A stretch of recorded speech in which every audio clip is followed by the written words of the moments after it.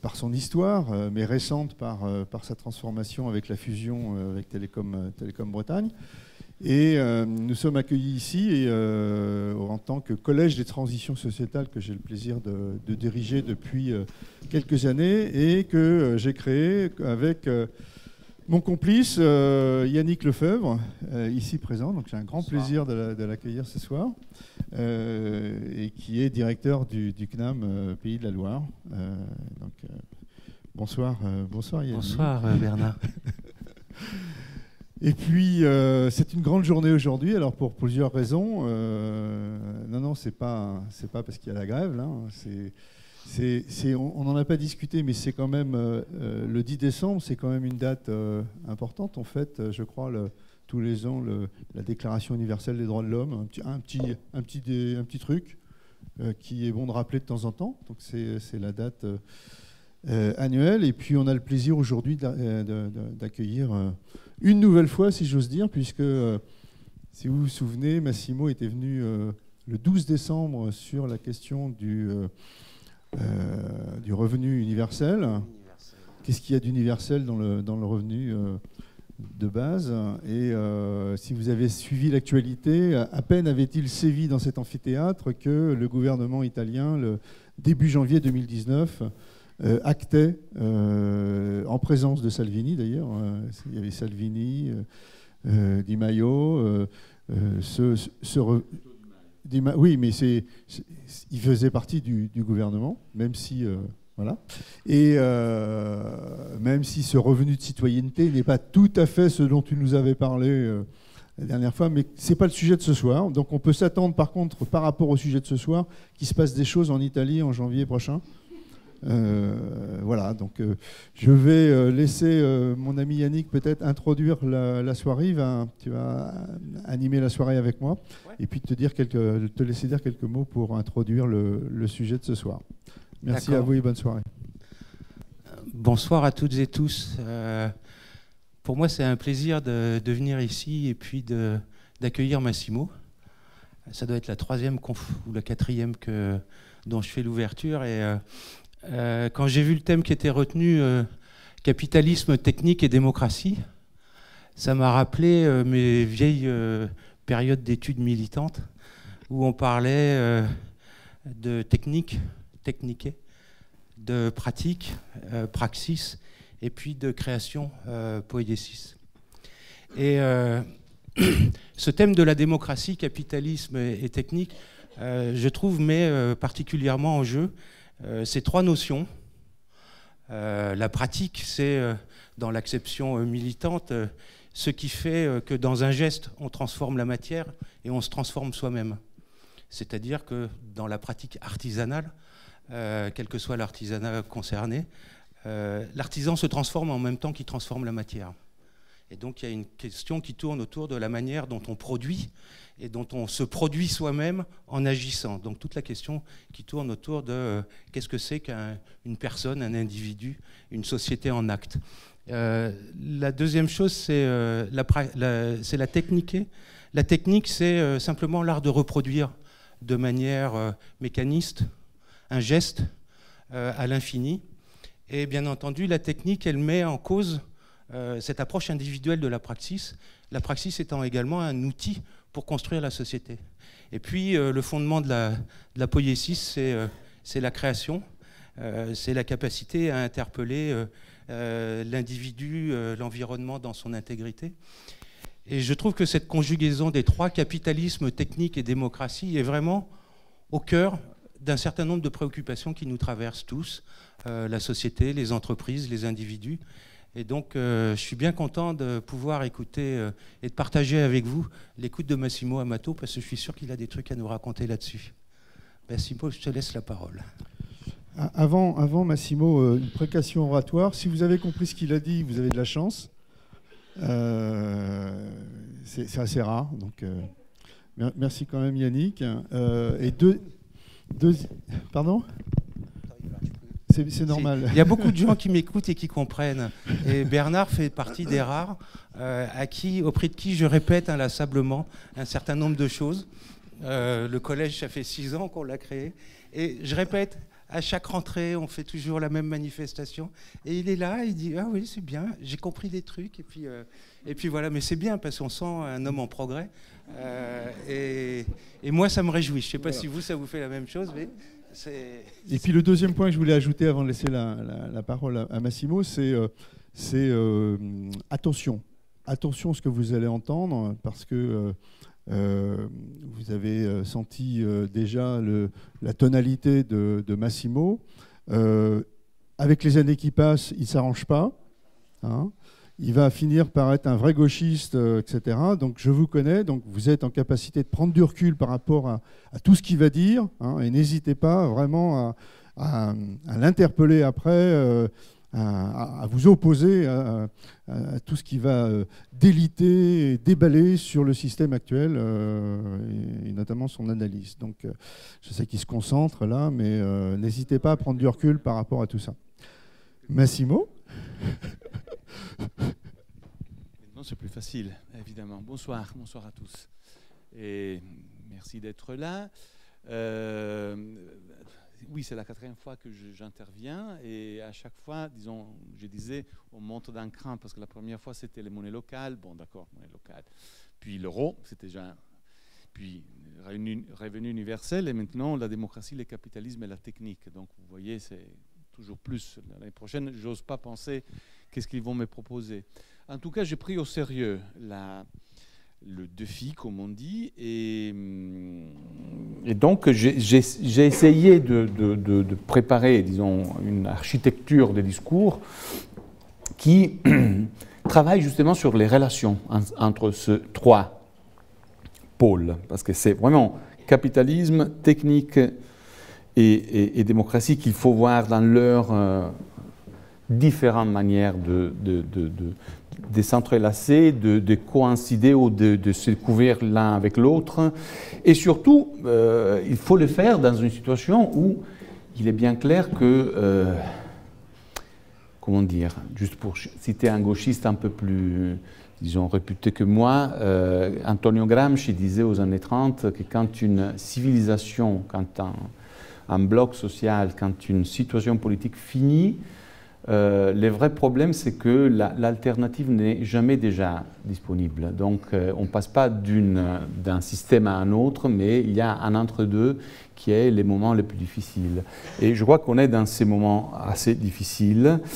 Et pour faire cela, euh, je m'appuierai aussi, vous le verrez, sur euh, les travaux et la pensée d'un autre gauchiste italien, italien qui était Claudio Napoleoni. Je crois que vous ne le connaissez pas parce que c'était un économiste italien qui a, qui a travaillé, disons, dans les années 50, 60, 70. Il est mort en 88, assez jeune, mais il est mort euh, d'un cancer en 88. Il a été économiste, il a été député, il a été sénateur, il a travaillé, disons, il a été élu pour les partis communistes, mais comme membre indépendant du Parti communiste, et jusqu'à la fin, surtout à la fin disons, de la grande saison euh, italienne de, la gauche, euh, disons, fin années 70, il a beaucoup insisté pour que la gauche ne perde pas son orientation dans un monde qui était en train de changer de façon radicale. C'était le début, disons, de ce cycle euh, idéologique, mais pas seulement idéologique, mais aussi technique, pratique, poétique, productif, qui est le cycle néolibéral, par rapport auquel la, gauche n'a fait que montrer ce qu'on euh, qu'on appelle en Italie, je ne sais pas si on peut dire ça en français, mais là, sa subalternité, c'est-à-dire qu'elle a été complètement captive d'un discours qu'elle a essayé de maîtriser sans réussir à le faire et en devenant captive d'un d'une manière de penser qui, au fond, en détruisait les bases, les bases politiques et existentielles, même, je dirais. Et alors voilà, euh, qu'est-ce que je vais faire avec vous? Ça, c'était la, présentation quand, on, quand en, septembre on a décidé qu'on on aurait pu aller dans cette direction. J'ai imaginé un texte de ce type et euh, donc voilà. Il y a, j'ai souligné six points que je vais développer. La première, c'est le premier, c'est la fin du cycle idéologique néolibéral. Il faut qu'on tombe d'accord sur ce que pourrait vouloir dire fin du cycle idéologique néolibéral. Et puis, deux distinctions importantes qui s'ouvrent à partir de ça. La distinction entre économie des marchés et capitalisme. Et pour ceux qui sont venus déjà, qui ont écouté les autres conférences, c'est quelque chose que j'ai toujours essayé de faire passer. Capitalisme et économie des marchés ne sont pas synonymes. C'est un équivoque d'imaginer qu'ils soient synonymes. Mais aussi la relation, et ça c'est un peu plus compliqué, entre capitalisme et progrès technique. Mais il y a aussi la situation de crise dans laquelle on est. Donc euh, le capitalisme est en crise et sa compatibilité avec la démocratie redevient elle aussi un sujet de méditation. Et là, euh, c'est vraiment, je viens d'Italie, mais c'est les problèmes de l'Europe. Euh, on parle du moment Polanyi. Karl Polanyi, c'est un, un, scientifique, disons un historien, un sociologue hongrois qui, aux années 30, euh, euh, justement après la crise des 29, il avait donné, avait donné une interprétation du fascisme comme la réaction du capitalisme face à l'impossibilité de garder les luxes de la démocratie. Et en effet, euh, il y a pas mal de, disons, de situations en Europe où la démocratie, même dans ses significations les plus basiques, commence à apparaître comme un luxe qu'on ne peut pas se permettre. Alors, il paraît qu'en Italie, eh, on a fait euh, euh, un sondage et, dans, ces sondages, il est, sorti que 40% des Italiens seraient disposés à accepter le gouvernement d'un homme fort. Voyez? Euh, justement, la, sénatrice euh, Liliana Segre, qui, qui, a été à Auschwitz, a dit ben, évidemment, ils le veulent parce qu'ils ne connaissent pas l'homme fort. Mais c'est exactement ça l'histoire. Il y a des générations qui ne connaissent pas et donc qui peuvent retomber dans les mêmes, dans les mêmes cycles. On est dans les années 30. On est au, mieux, mieux, comme disait un, un philosophe français, Gérard Granel, les années 30 sont devant nous. C'est-à-dire qu'on est dans des situations qui, rassemblent beaucoup à la crise de la démocratie des années 20-30. Mais ça ne suffit pas, évidemment. Il faudra aussi qu'on parle de la euh, possibilité même, et même de la nécessité de repenser, de penser d'autres liens entre la politique et l'économie. Si c'est vrai que, disons, pour le dire vite, capitalisme et démocratie ne sont pas compatibles, au fond. Et surtout, il faudra penser ça dans l'horizon du méditation, de l'essence de la technique. Et quand je dis essence de la technique, je me réfère en particulier à la façon où Martin Heidegger a pensé la question de la technique euh, dans notre époque. Bon, donc voilà, c'est un programme ambitieux. Euh, je vais lire euh, tranquillement. Euh, s'il y a des questions, des, compréhensions, des, demandes d'éclaircissement pendant que je, parle, pas de problème, pas de soucis, levez la main, on, en discute. Mais l'idée, c'est que je vous lise ce texte et, puis on, va en discuter ensemble après. Hmm. Voilà, ça c'est les plans du travail. Alors, fin du cycle idéologique libéral. Pourquoi parler des fins d'un cycle? Parce qu'au fond, il y a partout encore les signes d'une force relative et donc de la persistance d'une dogmatique néolibérale, surtout dans les institutions européennes et dans le nord d'Europe. Ce qui a, euh, disons, régi les discours économiques et, institutionnels jusqu'ici continue à être euh, fort. Mais je parle de fin d'un cycle parce que euh, l'idéologie est un bloc. Clémenceau disait la révolution est un bloc. On la prend en bloc, on la refuse en bloc. Holderlin n'était pas du même avis parce qu'il savait que les révolutions peuvent travailler contre eux-mêmes, elles-mêmes. Euh, et, donc, il faut toujours savoir nuancer. Mais disons comme ça, si l'idéologie est un bloc, dès qu'elle ne tient plus totalement, elle ne tient pas, elle, ne tient plus du tout. Dans ces blocs, il y a des fêlures en train de se transformer en failles. Et les failles permettent de revenir au dogme. La crise a bien évidemment joué un rôle dans tout cela il y a euh, les dogmes ont toujours été des dogmes, donc des vérités imposées d'une certaine manière, mais, comme on disait, la réalité semblait les confirmer. L'autorégulation des marchés, l'idée qu'on euh, pouvait mettre de côté les considérations de justice pour se concentrer sur des considérations d'efficacité et d'efficience quand on parlait d'économie, c'était apparemment confirmé par les faits jusqu'à la crise. Mais justement, quel dogme? Et quel dogme euh, au singulier avant tout Mais Celui qui dit, et là je cite Thatcher, la société n'existe pas. Ça, c'était le dogme fondamental du néolibéralisme. Et je précise évidemment, la société n'existe pas avant les individus, mais elle existe seulement après coup, comme les résultats de leur libre rapport, libre au sens des désentravés, complètement désentravés. D'où la recette que les néolibéraux reprennent des libéraux. Laissez faire, laissez passer. Laissez faire les individus et vous auriez la meilleure des sociétés possibles. Tandis que toute entrave ne peut que nous faire enfin dévier du sentier de ce que les euh, économistes appellent l'optimalité parétienne. Wilfredo Pareto a donné une, notion d'optimalité, une situation optimale, quand je ne peux pas améliorer la situation des A sans empirer la situation des B. Hmm. Et à mon avis, c'est une situation étouffante, parce que si on passe son temps à se demander si mon plaisir déplaît à quelqu'un, c'est qu'on passe son temps à se regarder l'un les autres euh, comme, des ennemis, au fond. Il faut, voir, disons, les côtés étouffants de cette idée de bien-être. Mais bon, c'était l'idée néolibérale.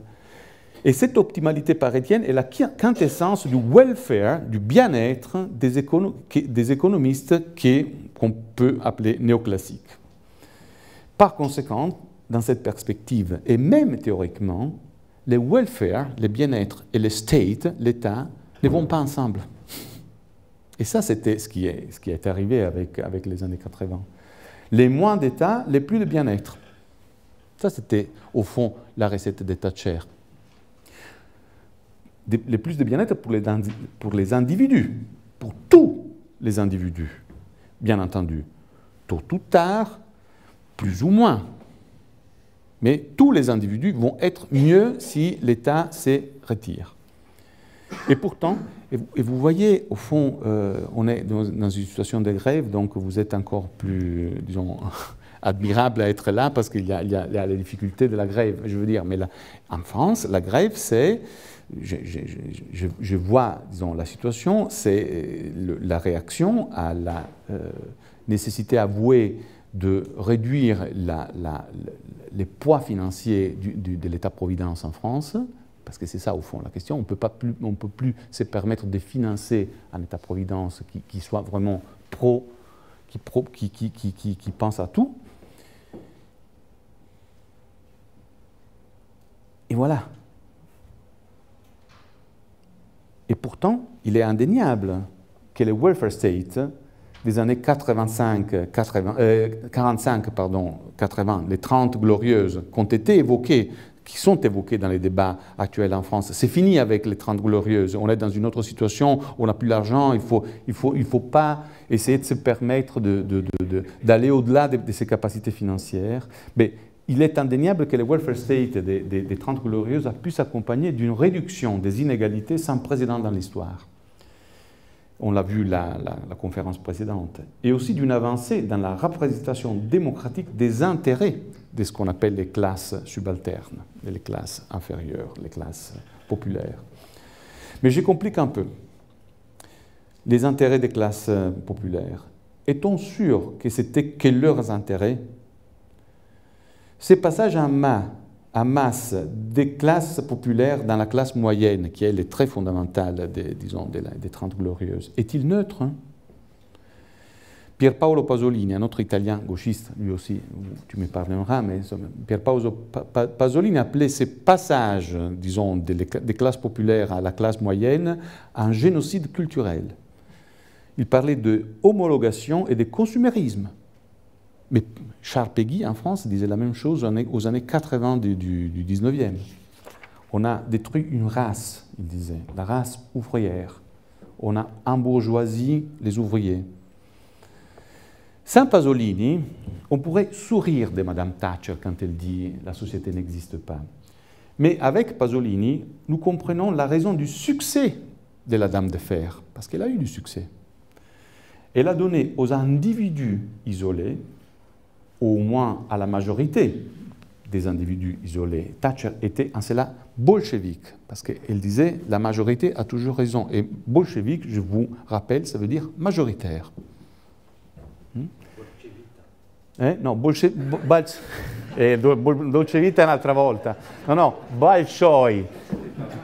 C'est majoritaire. Il n'y a pas de dolce vita avec les bolcheviques. Même parmi les bolcheviques, parce que tu sais qu'on est bolchevique jusqu'à ce que la, purge n'arrive pas, tu vois. Donc, euh, bon. Mais disons, euh, Thatcher a donné aux individus isolés ce que les individus isolés veulent.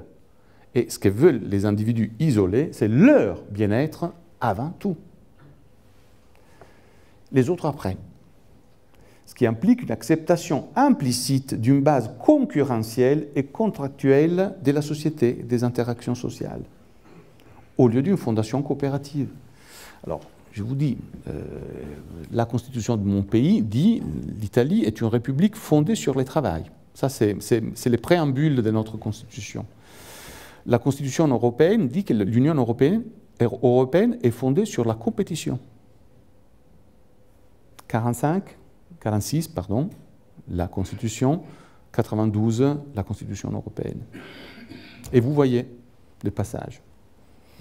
Ce qui a été gardé des Trente Glorieuses dans la vague néolibérale suivante a été précisément cette idée des logiques des classes moyennes consuméristes, c'est-à-dire euh, un modèle de croissance basé sur la consommation privée au détriment de la dépense pour les biens publics.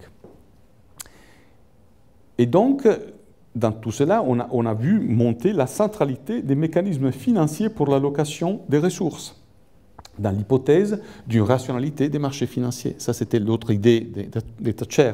Les individus veulent consommer, veulent, être financés, et il n'y a que, les marchés financiers pour financer les individus qui veulent, qui veulent consommer. consommer. Ce n'est pas question d'augmenter les salaires, c'est question d'augmenter la bancabilité.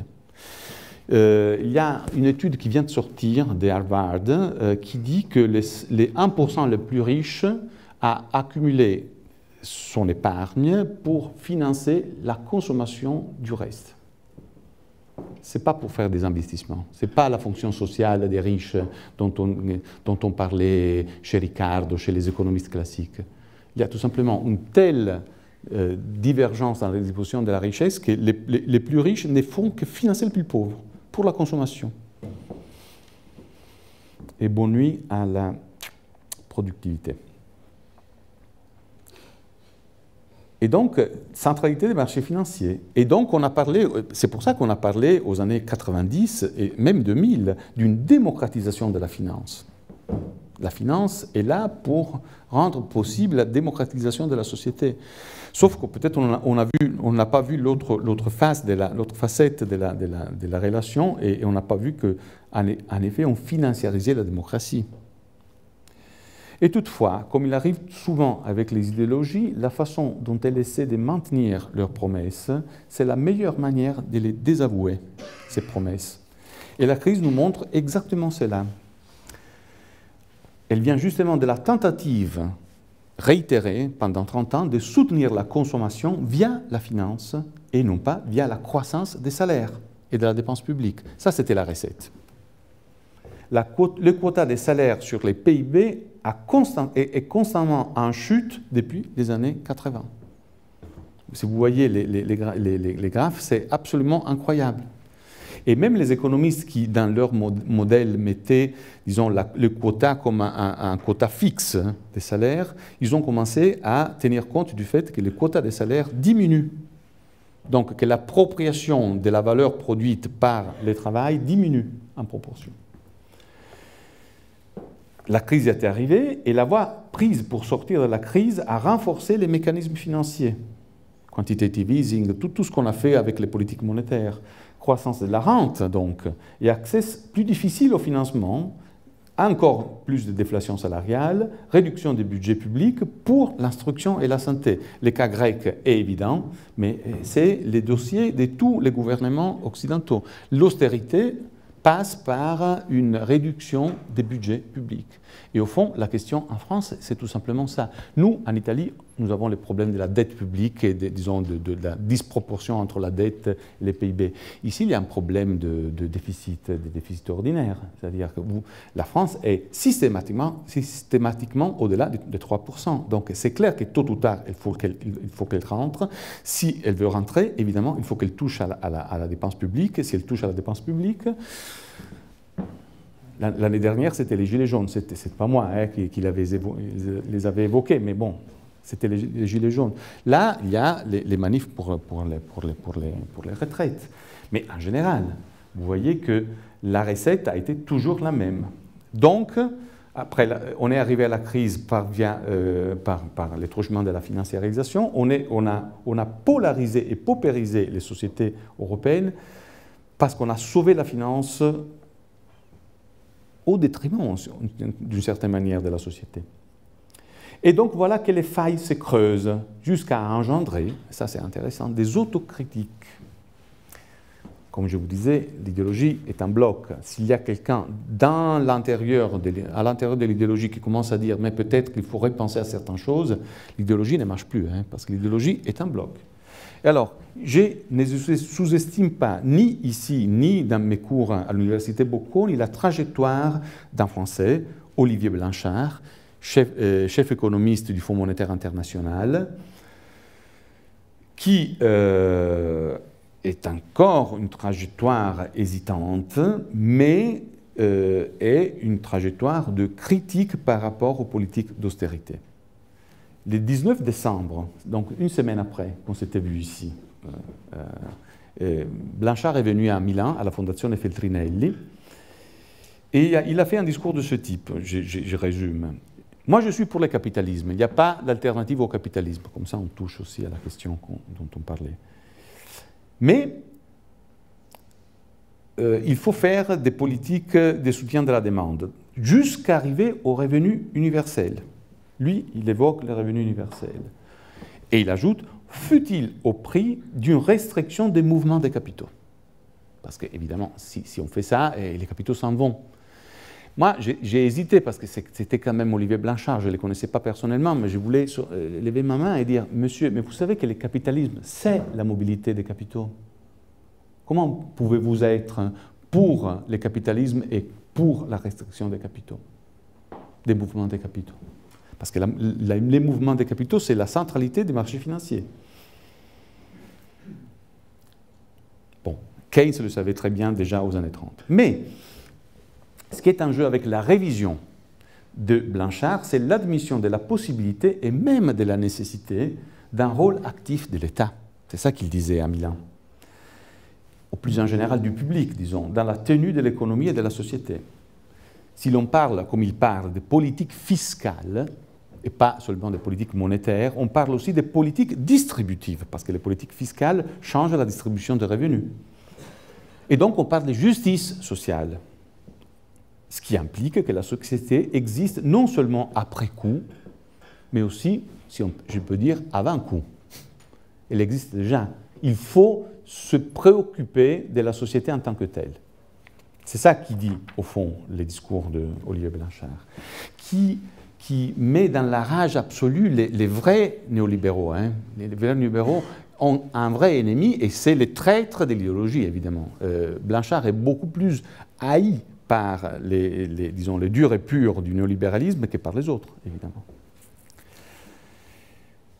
Mais ce qui explose avec l'autocritique de Blanchard, c'est justement l'idée d'une capacité d'autorégulation des marchés, sans laquelle l'individualisme méthodologique et donc l'idée que les phénomènes macroéconomiques, les phénomènes généraux, ne sont que l'effet des interactions des acteurs individuels. Ça, c'est, les dogmes méthodologiques de l'économie politique qu'on enseigne dans le mainstream, c'est-à-dire dans l'orthodoxie. Sans la capacité de régulation des marchés, l'individualisme méthodologique n'est pas pensable. Mais l'individualisme méthodologique est à la base de l'individualisme politique qui est au cœur du thatcherisme. Et là, je vous cite euh, un passage de von. Vous savez qu'un jour, Thatcher est, entré euh, au Parlement anglais avec son, un petit livret, comme les maoïstes faisaient avec les livres de main. This is what we believe in. voilà c'est à, quoi on croit. Et c'était un texte de von évidemment. Ce texte est, cité par un, illustre nantais, euh, Alain Supio, qui déjà en 2008 écrivait à propos de l'Union euh, européenne, l'Europe gagnée par l'économie communiste des marchés. C'est un, texte de 2008 que je vous conseille de lire. Mais là, on va lire ce que dit euh, euh,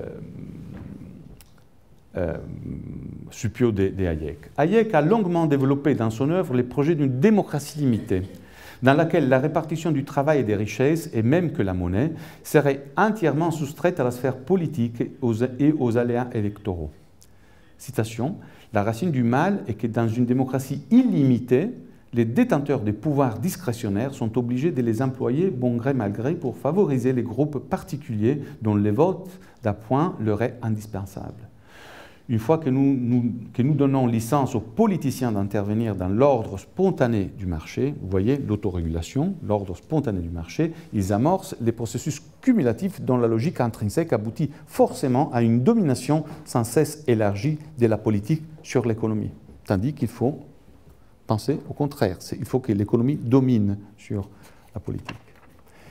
Avec un corollaire en plus, une proportion grandissante de la population du monde occidental passe sa vie dans des grandes organisations dont les membres sont étrangers à ces règles du marché, qui est un marché d'individus, atomistes, atomisés, qui ont rendu possible la grande société ouverte. L'économie de marché leur est en grande part incompréhensible. Ils n'ont jamais pratiqué les règles sur lesquelles elles reposent et ces résultats leur, semblent, pardon, excusez-moi, irrationnels et immoraux. En conséquence, les instincts innés longtemps submergés ont refait surface. Leur revendication d'une juste distribution, peut-être c'était la même question qui a amené un million et demi ou un million, je ne sais pas, des Français euh, la semaine dernière à Paris, je ne sais pas, hein, euh, est ainsi un atavisme fondé sur des émotions originelles et bien sûr irrationnelles. Voyez? Ça, c'est les blocs la, revendication d'une justice distributive est un atavisme. S'imaginer qu'il faut trouver des proportions dans la société, c'est un atavisme, c'est le fruit d'un primitivisme encore non, pas encore vraiment surmonté. Mais voilà l'origine de ce mode de pensée dévoilé et révélé dans un texte qui parle justement de la monnaie. C'est un texte toujours des Hayek. Vous voyez? Ça, c'est la manière où la société est vue par Hayek. La superstition selon laquelle il revient au gouvernement, que l'on appelle normalement l'État, puisque cela sonne mieux, de déclarer ce qui doit être considéré comme monnaie, comme si les gouvernements avaient créé la monnaie et comme si, celle-ci ne pouvait exister sans lui, cette superstition a eu son origine dans la croyance ingénue qui veut que l'argent ait dû être inventé et qu'il nous, nous ait ensuite été donné par quelque original inventeur. Cette conviction a été totalement démentie depuis qu'on l'a compris l'existence d'une génération spontanée d'institutions involontaires à travers un processus d'évolution sociale. L'argent représente les paradigmes les plus importants, mais dans une société de marché, la monnaie, ça compte quelque chose.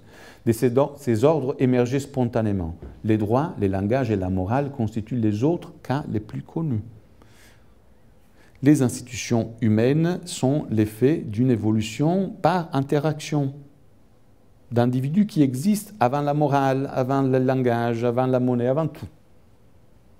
La société n'existe qu'après coup comme miroir des interactions des individus, qu'il faut laisser libre. Vous voyez Ça, c'est la force. Ça, c'est les dogmes. Et qui, et qui amène avec soi une certaine vision de la démocratie et de la limitation de la démocratie. Parce qu'il ne faut pas sous-estimer la portée de cette idée d'une génération spontanée des institutions. Elle amène avec soi l'idée que les individus sont déjà là comme tels avant toute communauté, c'est-à-dire avant tout rapport à autre que. Car c'est à partir de cette idée que s'est construit une notion d'institution et de société qui nie précisément cet autre et qui, en niant l'autre, devient parfaitement aliéné. Ça, c'est vraiment les combles de l'aliénation, de s'imaginer que les individus sont seuls et, et après ils rentrent en rapport les uns avec les autres. en engendrant les langages, figurez-vous.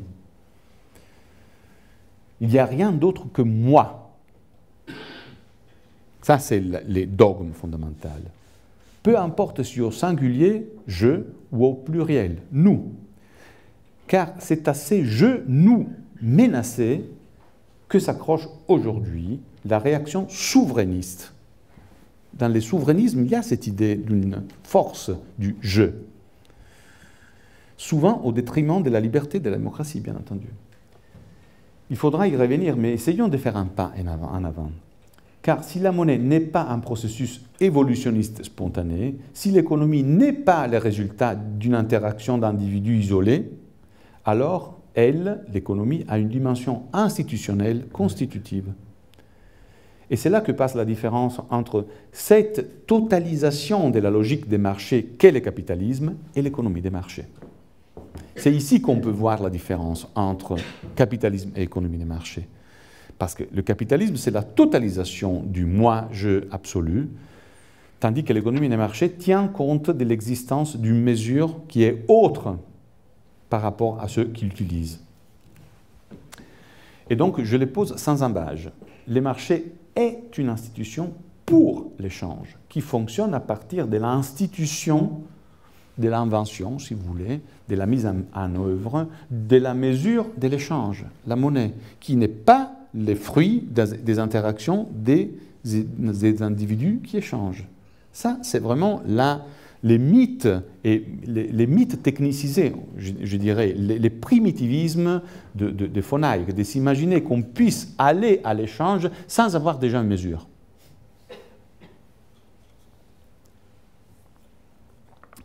Ici, nous retrouvons maintes, des considérations que nous avons faites sur la monnaie. Mais je, vous dis dans, dans les précédentes conférences et réunions qu'on a fait ici. Mais il faut aller droit à l'essentiel. La nature publique de la monnaie en tant que mesure commune ne nous autorise pas à penser la monnaie comme une propriété de l'État, au sens que la souveraineté monétaire consisterait précisément et uniquement dans le fait d'avoir les monopoles dans l'actionnement, comme on dit, de la planche à billets, qui est l'autre euh, ritournelle des souverainistes. Il faut revenir à, la souveraineté monétaire parce que si on a la planche à billets, on n'a plus de problèmes. Et l'Europe nous empêche, etc. C'est les, les, refrains de Salvini, mais c'est les refrains, je crois, de Le Pen ici. Et pas seulement de Le Pen, parce qu'il y a aussi un souvenir de, gauche qui est, aussi fort, évidemment. Dans son essence, la monnaie n'est pas une quantité. C'est pour ça que la planche à billets euh, ne, touche pas l'essentiel de la monnaie, mais une mesure, mais une mesure pour prendre en compte l'équivalence de ce qui ne peut qu'être qualitativement différent et donc incomparable. La monnaie sert à comparer ce qui est qualitativement différent, les poires et les pommes. Et à dire combien de pommes pour combien de poires. Sans être ni une poire, ni un pomme, en plus. La monnaie est une institution assez particulière et il faudrait vraiment faire attention à ne pas s'imaginer des simplifications là où vraiment se joue l'essentiel, disons, de la, de la constitution des économies. Bon, quand en 1926, Keynes, dont on a, John Maynard Keynes, on a parlé dans les autres conférences, prêche pour la fin du laisser-faire. Vous voyez, les cours et recours. On a passé 30 ans à dire laisser-faire, mais en 26, euh, Keynes dit, bon, déjà avant la crise de, 29, mais euh, en, sachant d'où on vient, il dit the end of laissez-faire, la fin du laisser-faire. Quand il prêche pour la fin du laisser-faire, il ne préconise pas la planification étatique. Il n'est pas un bolcheviste. Un bolchevique, excusez-moi. Bolcheviste. Bolchevique. Il préconise une réforme de la monnaie en nous rappelant la nature publique de la monnaie en tant que mesure pour la répartition des tâches et des revenus dans une communauté. Touche à la monnaie et tu toucheras à la distribution, donc tu toucheras à la nature profondément, disons, morale de l'économie. C'est seulement si la monnaie est reconduite à sa nature des biens publics en tant que mesure que l'on peut sortir de ce que Keynes appelle en 33, donc il y a quelques années, le critère du rendement Comme ça, on parle un peu de capitalisme. Ou plus crûment, du cauchemar du comptable. Ça, c'est un passage merveilleux, un peu long, mais il vaut la peine de le lire. Au XIXe siècle, le critère que, par souci de brièveté, nous pouvons appeler les critères du rendement financier, développé comme un test pour évaluer l'opportunité d'entreprendre une, initiative de nature privée ou publique, ou publique, s'est répandu jusqu'à atteindre un niveau franchement excessif. Toute manifestation vitale s'est transformée en une sorte de parodie du cauchemar du comptable. À chaque fois que je pense au cauchemar du comptable, je pense au ministre Schäuble, dont euh, on savait très bien qu'on n'arrivait pas à lui faire comprendre que quand on investit, la première année, on a des dettes. C'est après qu'on récupère les dettes, parce que l'investissement, c'est je dépense maintenant pour avoir plus après. Il disait non, non, non, non, non, ici il y a un trou, il faut les remplir. Mais c'est plus de l'investissement, monsieur le ministre. On n'investira pas. Et quand l'Allemagne a décidé d'investir un tout petit peu, on a dû le prendre et le mettre de côté, ce monsieur, parce qu'il n'avait pas compris. Et Schäuble est un élève direct de von Hayek. Donc, euh, quand je vous parle de Hayek, je ne vous parle pas de quelqu'un qui est dans, je ne sais pas où, c'est les maîtres de Schäuble. Hmm? Donc, les, cauchemars du comptable. Au lieu d'utiliser l'immense augmentation des ressources matérielles et techniques pour construire la ville des merveilles, on a créé les bidonvilles, les slams de Manchester. Et on a pensé que c'était juste et raisonnable parce que, selon les critères de l'entreprise privée, cela rendait alors que la ville des merveilles aurait été, pensait-on, un acte de folie qui, dans l'imbécile langage financier, dans l'imbécile langage financier, aurait hypothéqué l'avenir. Vous voyez que la question des, pensions, euh, on le dit tout le temps, la réforme des retraites, c'est pour les nouvelles générations, c'est pour ne pas hypothéquer l'avenir. Ne faut pas aller au-delà de notre capacité de financement. Mais quel type de financement? La logique du comptable, ou une autre logique qui serait possible. Mais personne ne peut croire qu'aujourd'hui la construction des grandes et belles œuvres puisse appauvrir le futur, à moins d'être obsédé par des fausses analogies tirées d'une mentalité comptable abstraite, on pourrait dire aliénée.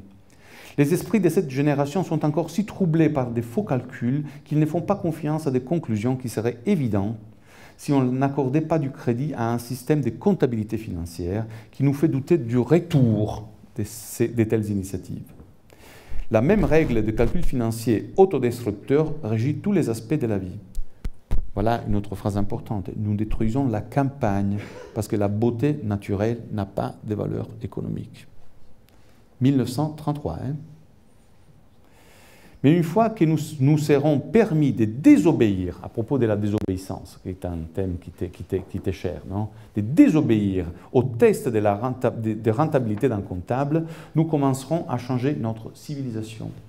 Et cela devra être fait avec beaucoup de circonspection, de prudence et de conscience, car il y a un grand secteur d'activité humaine dans lequel nous devons garder sagement les contrôles habituels basés sur l'argent.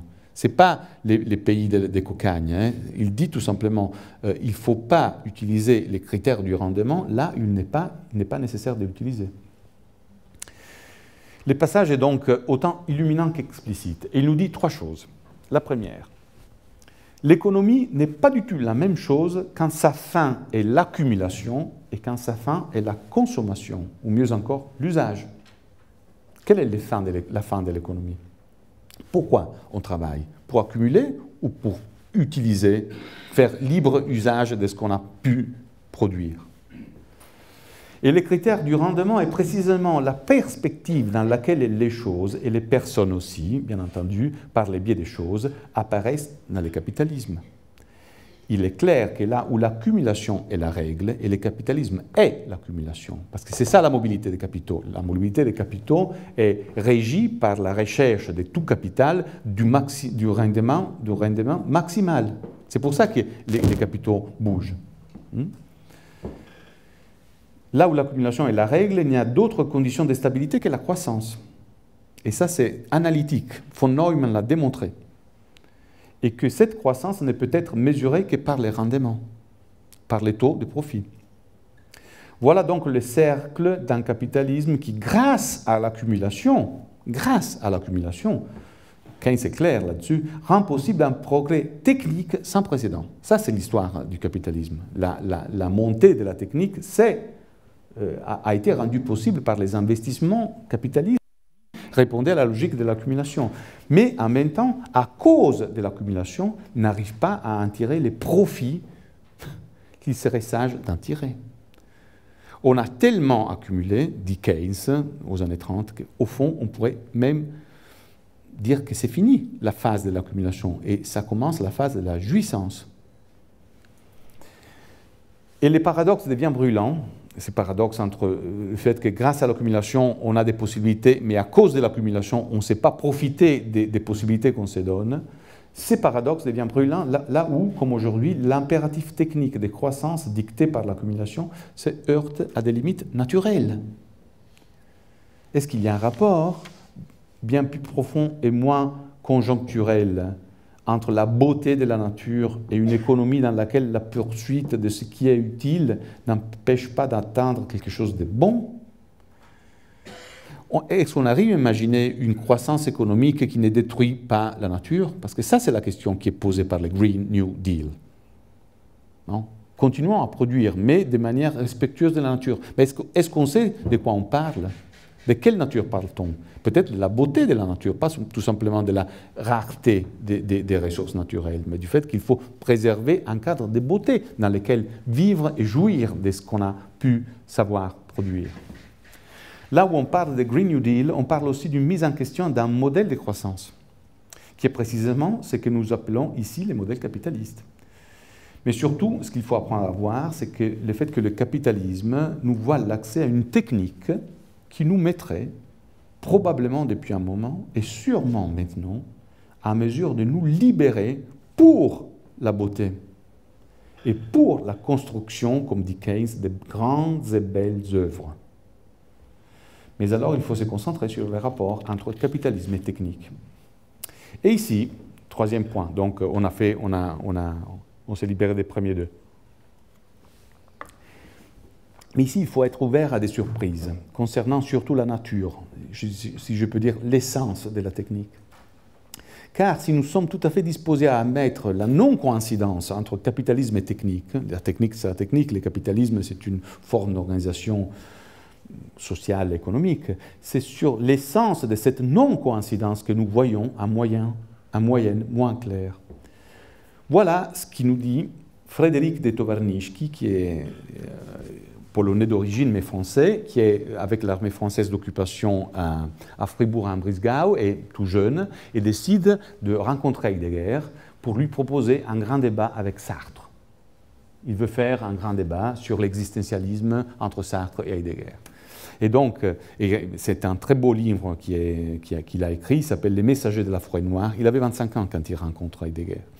Et donc, il, rencontre Heidegger et puis il rencontre Sartre et Simon de Beauvoir en lui proposant les grands débats sur l'existentialisme. Et donc, il lui raconte de Heidegger, parce que Sartre en savait assez peu depuis, depuis, un moment, disons, depuis que Heidegger avait cessé de, de sortir d'Allemagne, disons comme ça. Quant à son travail, c'est Tovarnichki qui parle, j'avais lu des cours où il s'interrogeait sur l'avenir d'un monde où s'accomplissait l'oubli de l'être dominé par l'activité calculante et technicienne, régie par les impératifs inhumains du rendement maximal. Dans ce monde auquel la pensée devait faire face, Heidegger disait que l'essence même du langage était mise en danger. Je m'arrête. Sartre ne paraît guère convaincu. Mes phrases me paraissent soudain exagérément emphatiques. Ce que j'ai lu de Heidegger est tout en nuances, n'autorise en rien à énoncer des certitudes, à proclamer des vérités. Et Sartre s'exclame. Mais c'est là, analysé depuis longtemps par Marx, la description du capitalisme. Vous parlez des techniques, M. Heidegger, mais c'est le capitalisme. Et Simon de Beauvoir rappelle que depuis la révolution d'octobre, précisément, des forces révolutionnaires se sont levées pour combattre l'exploitation. J'ai l'impression d'avoir compté des choses désuètes, dépassées. Heidegger est-il un retard d'un siècle? Peut-être pas. Peut-être pas. si tout simplement nous allons dans la direction d'une autre distinction, celle entre les objets techniques et l'essence de la technique, laquelle, disait Heidegger, n'est rien des techniques. L'essence de la technique n'est rien des techniques, mais rien de neutre non plus. Et ici, peut-être, nous avons une surprise. Car ce qui unit les capitalismes et ces forces révolutionnaires évoquées par Simon de Beauvoir, qui s'était levé pour combattre l'exploitation capitaliste, c'est précisément cette idée que la technique est en soi quelque chose de neutre, qui prend sa signification des intentions, des puissances qui s'exercent à la contrôler, à la dominer, à la acheminer. Et alors là, plutôt qu'à Simon de Beauvoir qui parlait, disons, pour, oui dire, donnons la, la parole à Lénine, comme ça c'est plus clair, étant donné que c'était lui qui, dirigeait les forces révolutionnaires. On est en 1920. Sans instaurer en Russie une technique perfectionnée, plus élevée qu'auparavant, il ne saurait être question ni des rétablissements de la vie économique, ni des communismes. Le communisme, c'est le pouvoir des soviets, plus l'électrification de tous les pays. Car sans l'électrification, il est impossible de perfectionner l'industrie. C'est là une tâche de longue haleine qui exige au moins 10 ans. Et disons, elle a exigé 14 ans, parce que si vous voulez, les congrès des vainqueurs des, Staline, c'est en 1934, et là, on pourra dire, on a mis l'agriculteur, les, paysans russes sur les tracteurs exactement comme les paysans américains. On est au même niveau et on n'est même pas en crise économique, à la différence du capitalisme. La formule, on, on la connaît, soviet plus électrification. Quelle est la différence pour Lénine entre les machines et l'usage capitaliste des machines? Parce que vous voyez bien que ici l'idée c'est que la technique est neutre et si on l'utilise de façon communiste, elle va dans la bonne direction, tandis que si la même technique on l'utilise de façon capitaliste, elle va dans la mauvaise. Est-ce qu'il y a une différence? Ou bien, comme disait Heidegger en 1945, tout est volonté de puissance.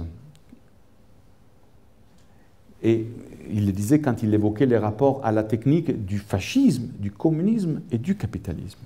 1945. Car si c'était le cas, on pourrait comprendre non seulement pourquoi la Russie a bien été électrifiée par les bolcheviks, sans que l'esprit de justice lié aux soviets fasse un seul pas. Il faut le dire quand même. Ils ont parfaitement réussi à industrialiser la Russie, mais l'esprit démocratique, disons, des soviets.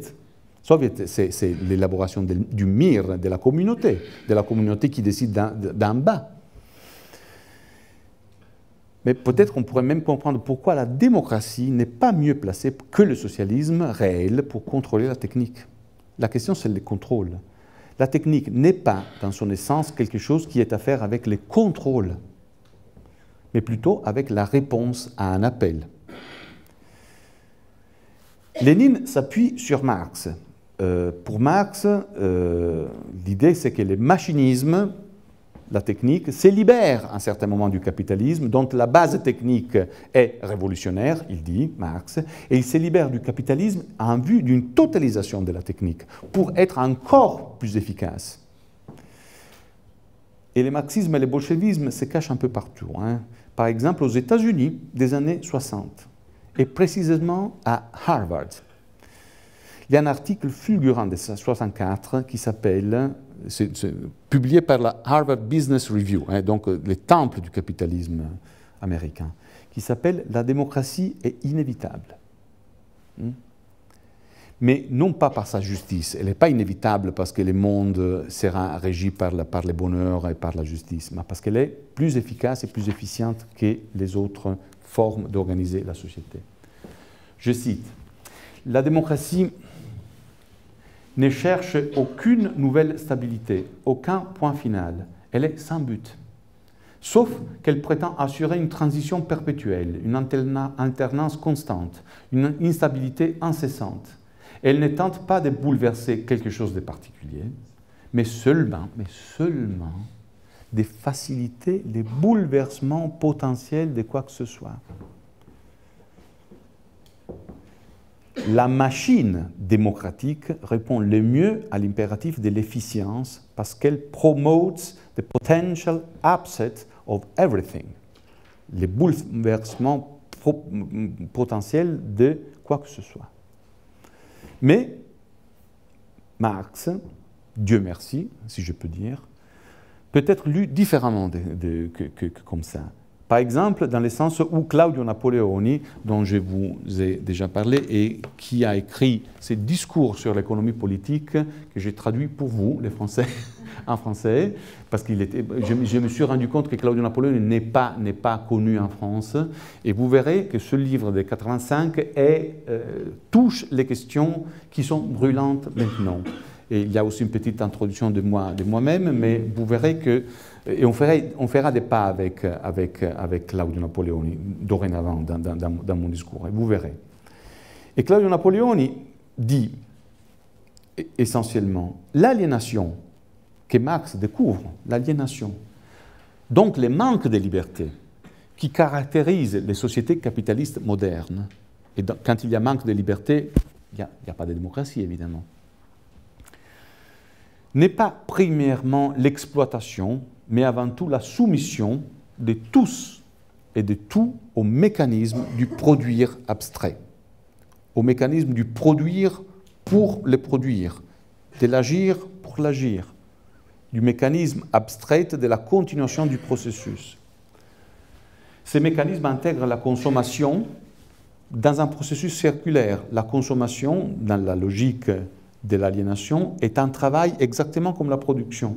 Quand on consomme, on n'est pas libre. Quand on consomme, on fait son, devoir de producteur. C'était ça le fond de la critique au consommérisme de Pier Paolo Pasolini.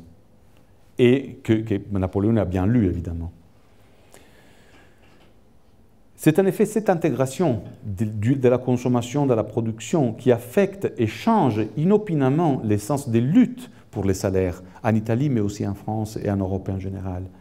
Les mouvements ouvriers entament cette lutte dans les années 60-70. Vous, le savez très bien.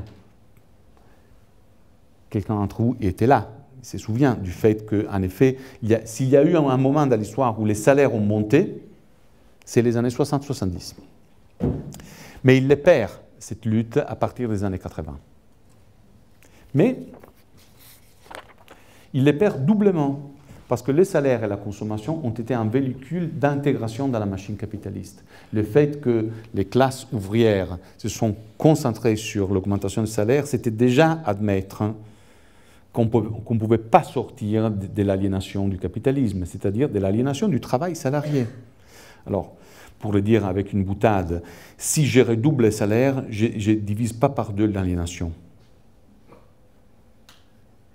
OK C'est incomparable. Et au fond, Marx le disait très bien, faites, ce que vous voulez avec les syndicats, mais les travail salariés est l'aliénation indépendamment du niveau du salaire. Il faut travailler pour autre chose, il faut lutter, si vous voulez, politiquement pour autre chose. Et maintenant que la machine capitaliste, maintenant que la machine capitaliste expulse le travail via le chômage technologique, on en, avait parlé la dernière fois, a-t-il du sens de rêver un retour au keynésianisme qu'on véhicule pour extension de la démocratie Parce que c'est ça qu'on dit. Fini, fini, fini l'époque du, néolibéralisme, il faut revenir à des politiques étatiques d'inclusion, des, plans d'emploi, d'intégration dans, la production de, ceux qui, qui, sont, qui ont été mis de côté. Évidemment, il y a des, j'insiste, il y a des problèmes de syndicalisation, il y a des nouveaux travaux qui émergent et qu'il faut savoir défendre du point de vue des droits fondamentaux. Je pense à la gig economy, je pense à tous les travaux précaires qui, peuplent, disons, les, nouvelles formes d'exploitation capitaliste. Mais ça, c'est Claudio Napoleoni, on l'entend pour la première fois. Le welfare state et la politique euh, spécifiquement keynésienne de la propulsion et de la stabilisation du marché sont ainsi entrés en crise en même temps, avec une contemporanéité qui est l'image de ce qui aurait dû être leur solidarité. S'il en est ainsi, alors, concernant l'échec du réformisme, c'est en 85 qu'il parle, quand la, la marée montante, si vous voulez, du néolibéralisme s'impose. Il ne s'agit ni d'idées confuses, ni de volontés insuffisantes, mais plutôt de ce que ni les pleins emplois, ni les mesures du welfare state, même considérées sous son, sous son meilleur jour, ne sont à même de compenser les sujets du fait que, comme sujets producteurs, ils sont totalement assimilés à ce qu'ils produisent. C'est-à-dire qu'ils sont eux-mêmes produits et aussi du fait que ce manque de compensation s'est exprimé jusqu'à présent au plus bas niveau possible, c'est-à-dire comme revendication de la maximisation de la consommation individuelle, privée, entendue comme acquisition des libertés, vous voyez, indépendamment des succès que la politique économique a remportés sur d'autres terrains. C'est ça la racine de la, défaite. Si je pense que ma liberté dépend de ma liberté de consommation, j'ai déjà donné le maximum d'avantages à la machine.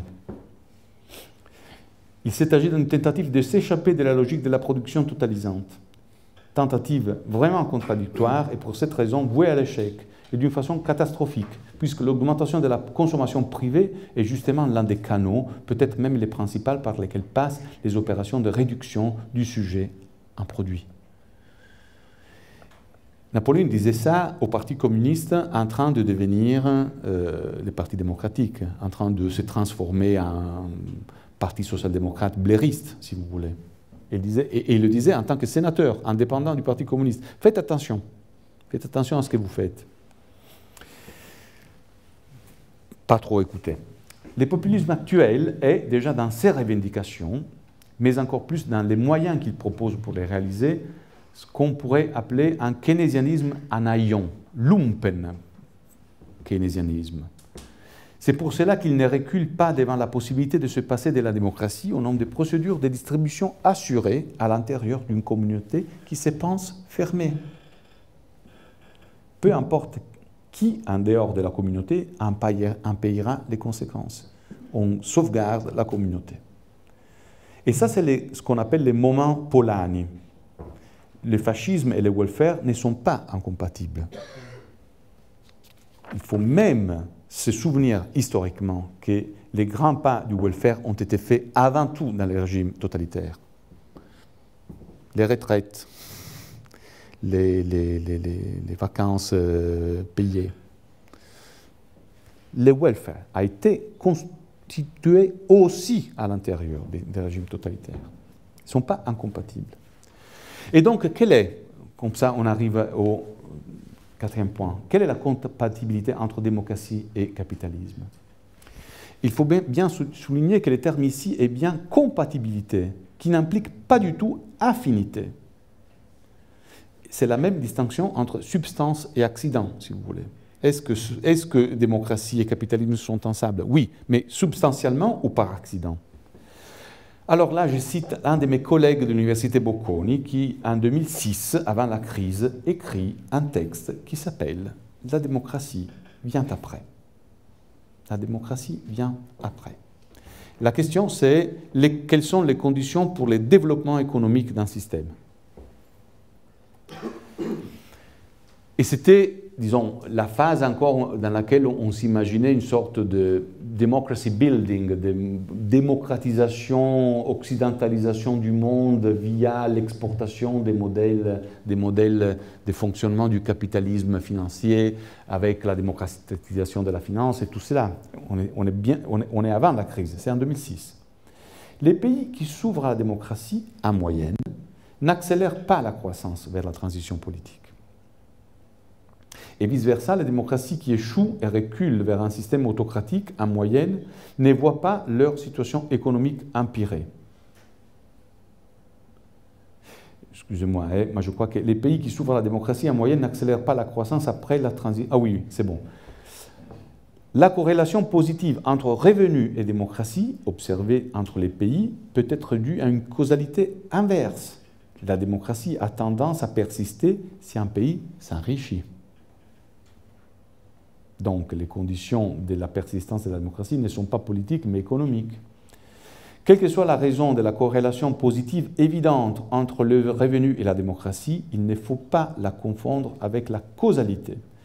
La démocratie ne semble pas être si importante pour assurer les succès économiques. Guido Tabellini, recteur de l'Université Bocconi. La démocratie vient après. Chicago Boys, ça vous dit quelque chose hein? L'expériment du Chili, ça vous dit quelque chose hein? Le Chili est en train d'exploser pour la question des retraites. Ça vous dit quelque chose C'est au fond un développement de cette idée assez répandue entre les économistes modernes que l'économie a à faire avant tout avec les conditions de la production, donc conditions d'efficience, et donc et, seulement après avec les conditions de distribution et donc de justice. La justice est un luxe qu'on peut se permettre quand il y a quelque chose qu'on a produit. Mais au fond, cette distinction, qui ne valait certes pas pour les économistes classiques, Ricardo, qui était pour le capitalisme, savait très bien que production et distribution sont intimement liées. Mais comme le dit très bien Marx, et Keynes n'est peut-être que d'accord, les systèmes capitalistes, hein, et c'est ça, son, secret, arrêtent la production quand le taux de profit est maximisé, et non quand tous les besoins sont servis. Point il, peut, y avoir coïncidence. Il peut, y avoir coïncidence entre le fait que la maximisation du taux de profit coïncide avec le fait que les besoins sont servis. Mais c'est l'un des deux cas, parce que le troisième ne se donne pas. C'est-à-dire, plus de besoins servis que de taux de maximisation, ce n'est pas possible. Mais on peut bien imaginer que la maximisation du taux de profit arrête la production bien avant que les besoins sont servis. Ça, c'est le fond du, raisonnement des tabellini. Et ça, c'est l'essence. Euh, mais cela veut dire que dans une situation de crise, ce qui doit être préservé, c'est la rentabilité du capital et non la réponse aux besoins. Et encore moins la démocratie, entendue comme principe distributif et redistributif. Si la démocratie a du sens, c'est aussi parce qu'elle a affaire avec ce qu'on appelle la justice sociale, évidemment. Et c'est là l'essence du moment Polanyi. S'il est question de sauver quelque chose, en un moment de crise, le capitalisme essaye avant tout de se sauver, fut-il au prix d'une restriction des garanties de liberté? Pour Polanyi, le fascisme n'est pas une idéologie, même pas un mouvement, non principalement, principalement une idéologie ou un mouvement, il est plutôt un mouvement au sens d'un coup asséné toujours possible au nom de l'efficience et souvent faisable en s'appuyant sur les malaises sociaux engendrés par la crise. Alors en Italie, je disais à mes amis, euh, vous avez les cadres de la CGT, de mais qui est vraiment l'équivalent de la CGT, qui votent pour Matteo Salvini et la Lega. Parce que Matteo Salvini et la Lega défend les intérêts des travailleurs italiens contre l'Europe, contre l'invasion des, immigrés, contre ce qui nous menace de ces pays des cocagne qui serait l'Italie si on pouvait fermer les portes et activer la planche à billets. Dans une crise, comme l'a souligné un autre économiste italien assez, intelligent, Giorgio Lunghini, la démocratie est mise, est mise en danger trois fois. Elle est mise en danger par le chômage en terme, euh, une question sur laquelle il faut qu'on revienne. Parce que quand celui atteint des pourcentages élevés et stables, les chômeurs, dit Lunghini, devient un parti prêt à des compromis impensables en une situation d'abondance relative. la classe moyenne prolétarisée fait les pactes avec le diable et dit d'accord, tu me sauvegardes dans mes, droits que je suis en train de perdre, et moi je ferme les yeux contre, euh, disons, la, baisse d'attention vis-à-vis des droits fondamentaux. Et, il, y a, un marché, il y a un marché entre, disons, les bien-être et les principes distributifs. Dans la mesure où la crise, deux yeux, euh, deuxièmement, dans la mesure où la crise accentue les inégalités, elle polarise la société étant à rompre les solidarités des bases. Ça, c'est l'autre chose qu'on voit. Dans la crise, on a vu, disons, la divergence euh, entre l'1% et le, reste augmenter. Et dans le troisième, dans la mesure où la crise restreint la marge de manœuvre du welfare state, elle diminue les marges de redistribution et donc elle attise les conflits internes. Parce que si on est en crise, il y a moins de ressources vous voyez bien que cela constitue les bassins de consensus auxquels on puise aujourd'hui et qui joue les consensus en termes d'une rénonciation croissante à la liberté au nom de la sûreté. On le sait, avant tout économique, fousse aux dépenses d'autres. Par exemple, avec clôture et protectionnisme vers l'extérieur, America First, ce n'est pas seulement Le Pen, hein, c'est Trump, c'est Bolsonaro, c'est tout ce que vous voulez. Fermeture et nationalisme à l'intérieur. Pour mon collègue, la démocratie était associée à moins d'injustice et à plus euh, de sensibilité du gouvernement aux véritables priorités des citoyens. Mais si nous nous efforçons d'entendre non quantitativement la démocratie comme un régime de liberté partagée, je vous propose ça, et des partages libres, si la démocratie, c'est vraiment la liberté partagée. Euh, Peggy disait, euh, la cité ne commence que quand le dernier des miséreux a été intégré dans la cité. S'il y a un seul qui est dehors, la cité ne démarre pas. Liberté partagée, partage libre. Les rapports entre démocratie et capitalisme alors apparaissent encore plus clairement sous les signes non de l'affinité, mais de la coïncidence, et parfois de la subordination.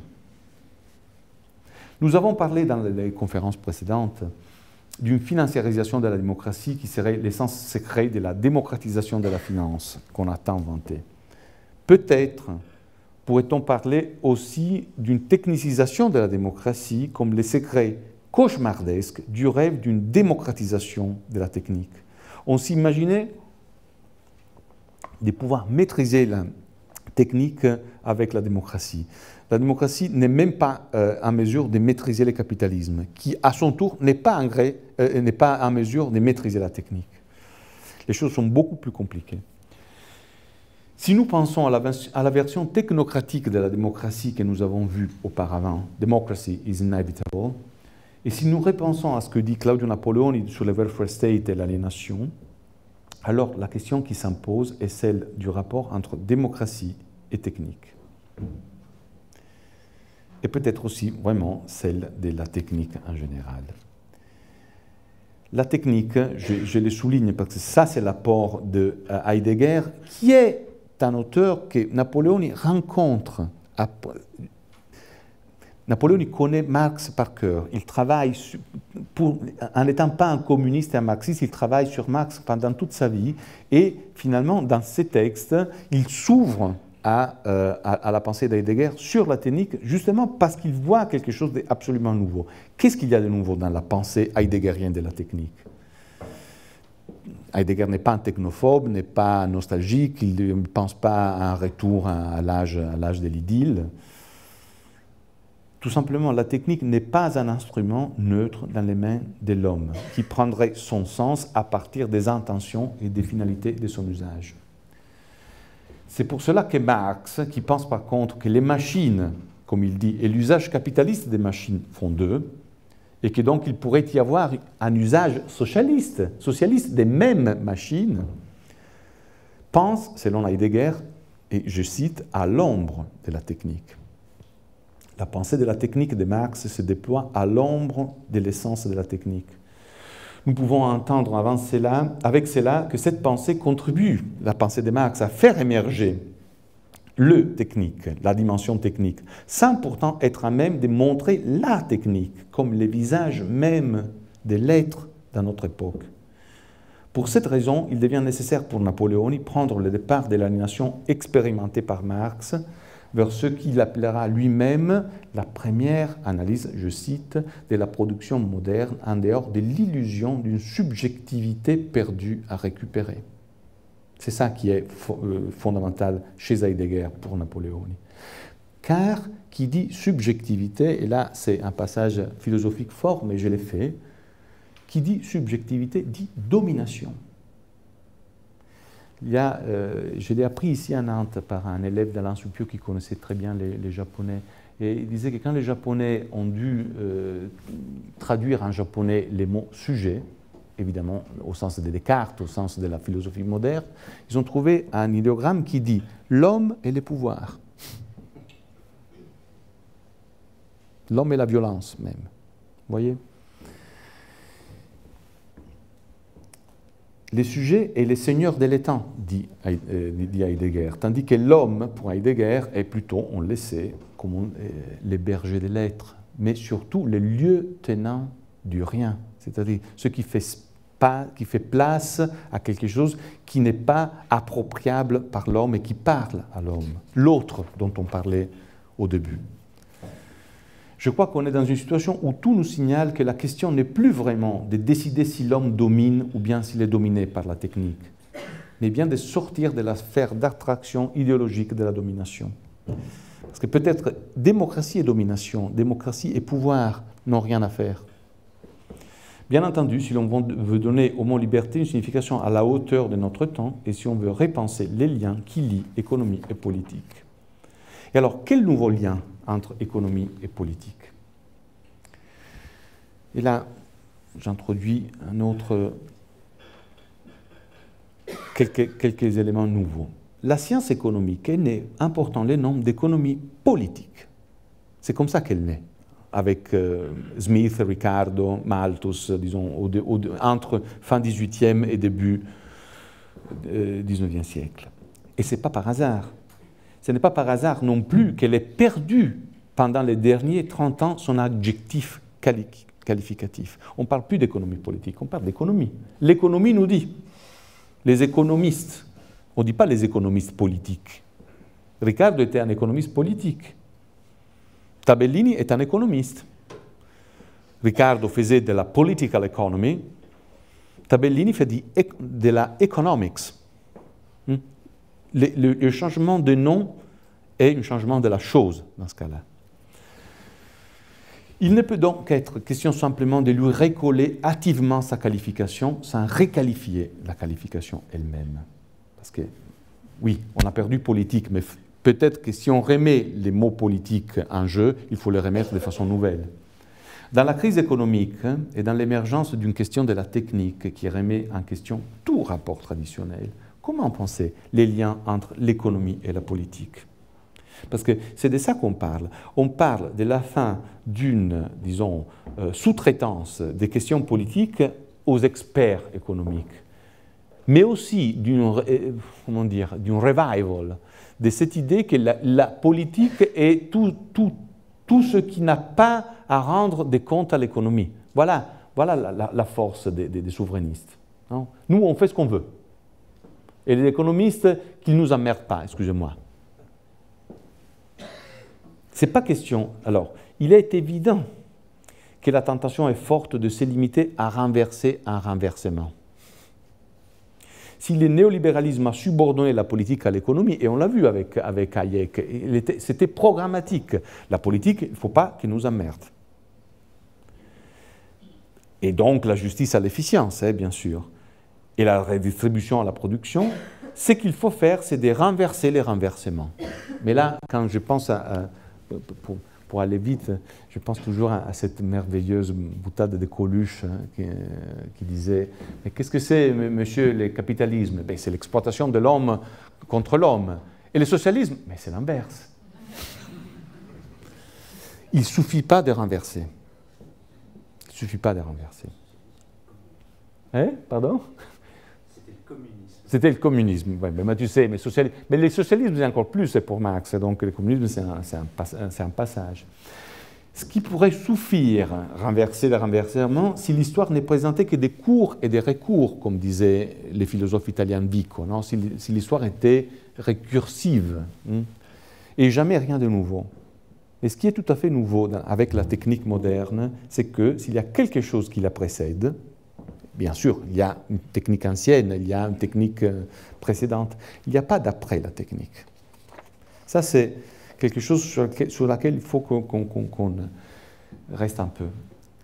En d'autres termes, s'il est question de la technique moderne, après ne peut pas signifier, postérieurement. Il faut pas, on ne peut pas sortir de la technique. Après, il signifie, comme il peut signifier en français, auprès il faut, la question n'est pas de sortir de la technique, mais de se rapporter à la technique de façon différente. Voilà les grands dangers où nous sommes, dans lesquels la sortie du danger ne prend pas la forme de l'entrée en quelque chose d'autre, même avec le Green New Deal, on ne peut pas s'imaginer de, tourner les doigts à la technique. Mais surtout, d'une certaine manière, avec le Green New Deal. N'est pas question de rentrer en quelque chose d'autre, mais de redéfinir de façon radicale notre rapport à ce qui est déjà. Et il s'agit évidemment d'une tâche plus délicate, parce que c'est toujours plus facile de dire demain ça, ça sera différent. Mais aujourd'hui, quel est mon rapport renouvelé avec ce qui est déjà là? Et c'est pour ça que, justement, Napoléon dit après Marx et après l'échec de l'espérance de libération à travers le déploiement des contradictions du capitalisme et de leur résolution, Heidegger donne la première analyse de la production moderne en dehors de l'illusion d'une subjectivité perdue qu'il faudrait récupérer. Face à la défaite, à l'objective défaite du mouvement des travailleurs à la fin des années 70 et à l'avancée du néolibéralisme dans les années 80, ces positions, les positions de Napoléon, vont de l'avant, tellement de l'avant qu'il n'hésite pas à affirmer que la sortie du capitalisme ne peut pas se faire en substituant à celui-ci un autre régime économique. Ce qui est définitif avec la chute, disons, du socialisme réel ou du projet communiste, c'est cette idée que le, le capitalisme peut être substitué par un autre régime. C'était ça l'essence de la fin de l'histoire de Fukuyama. Non? On, a, on a fini. Il y avait une compétition et ce qui est resté, c'est le capitalisme. Donc, le capitalisme est la forme définitive d'organisation de la, de, la vie, humaine. Dans un discours qu'il intitule significativement La liberté du fini, la libertà del finito, Napoléon dit, et ça c'est un programme politique, je crois, il ne s'agit pas, parce qu'il il ne faut pas se contenter des formules, évidemment, mais il ne s'agit pas de sortir du capitalisme pour entrer dans autre chose. Il s'agit plutôt d'élargir au maximum la différence entre la société et le capitalisme, c'est-à-dire d'élargir les domaines de la non-identification de l'homme à la subjectivité renversée et donc aliénée.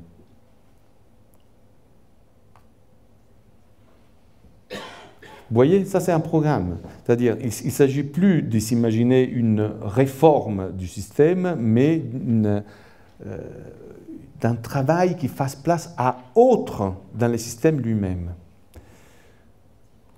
Laissons passer ça et passons à la... Là, je, cite d'un Français, qui, qui euh, Dominique Sadjan, qui, travaille à Paris, qui est philosophe, qui m'a aidé dans la traduction du texte en français, mais qui a surtout écrit une très belle postface à l'édition italienne. Et voilà. Et, il parle justement de l'attitude politique de, de. Dans la mesure où la compréhension du développement étant essentiellement, essentiellement de l'ordre de la compétitivité économique, les développements n'engendrent aucun progrès, la,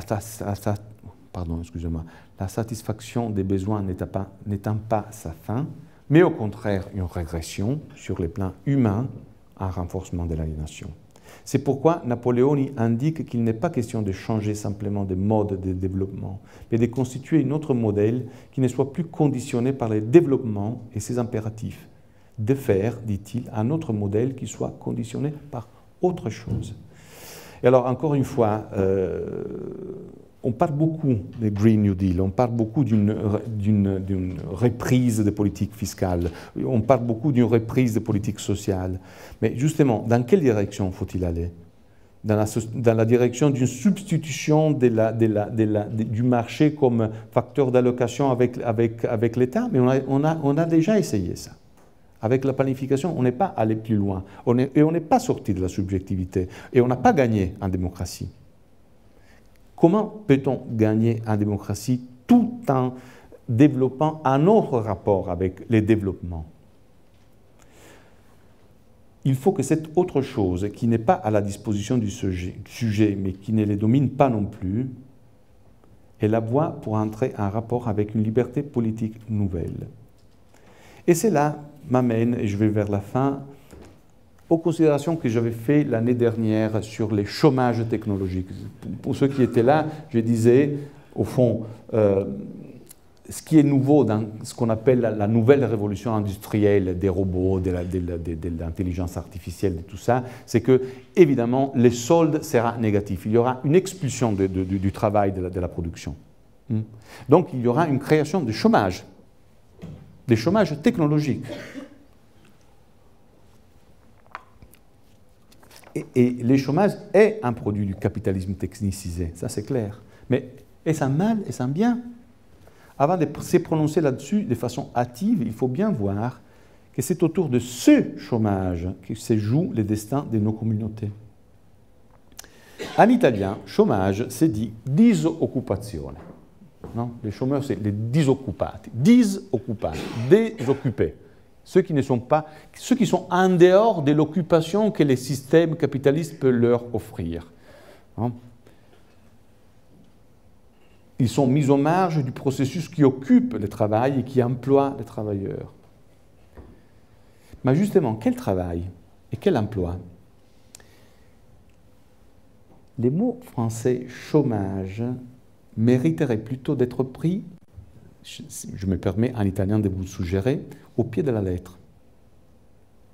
Il parle en effet d'un calme. Vous savez, chômer, c'est caumare, calmare de la pause qu'il faut savoir prendre quand ça chauffe. C'est ça, chômage. Quand il fait chaud, on fait rien. C'est très du sud. Mais je, vous invite à imaginer, mon, grand-père était, paysan au sud, il s'est levé à 2 heures du matin, et à 9 heures, et à 9 heures du matin, il avait fini sa journée, parce qu'après, travailler, c'était seulement les fous travaillaient après avec cette, chaleur. Caumare, chômage. Hmm? La pause qu'il faut savoir prendre quand ça chauffe. Donc, les questions de... Pardon.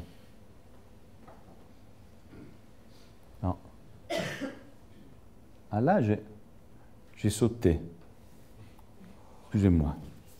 J'ai fini hein, presque. Et euh, je, vais un peu vite parce que là, j'ai déjà mis pas mal de, des éléments pour la réflexion. Alors, cette notion de, chômage comme calme face à la, liberté qu'on pourrait se prendre de ne pas travailler par nécessité, disons comme ça, euh, a une possible traduction dans l'allemand de Heidegger. Heidegger, à la fin de sa vie, parle de Gelassenheit. Gelassenheit, c'est vraiment l'attitude que l'homme pourrait avoir vis-à-vis de la technique. Alors, je vous, ici, ça c'est toujours Sadjan qui parle. On pourrait croire entendre ici l'écho d'un passage de Gelassenheit, le discours qu'Heidegger fit en 1955. Et puisque Napoléon se place lui-même dans l'horizon ouvert par Heidegger, on peut y aller regarder. Dans ces passages, Heidegger dit l'attitude à tenir, selon lui, devant la technique, cette attitude de Gelassenheit. Et ça, c'est une citation d'Heidegger. Nous pouvons faire usage des objets techniques comme il faut qu'on en use. Mais nous pouvons en même temps les laisser à eux-mêmes comme ne nous atteignant pas dans ce que nous avons de plus intime et de plus propre. Mais en effet, Gelassenheit, c'est exactement ce calme qui, au centre du travail libre, nous libère pour un travail qui ne soit pas axé sur l'exigence de l'efficience.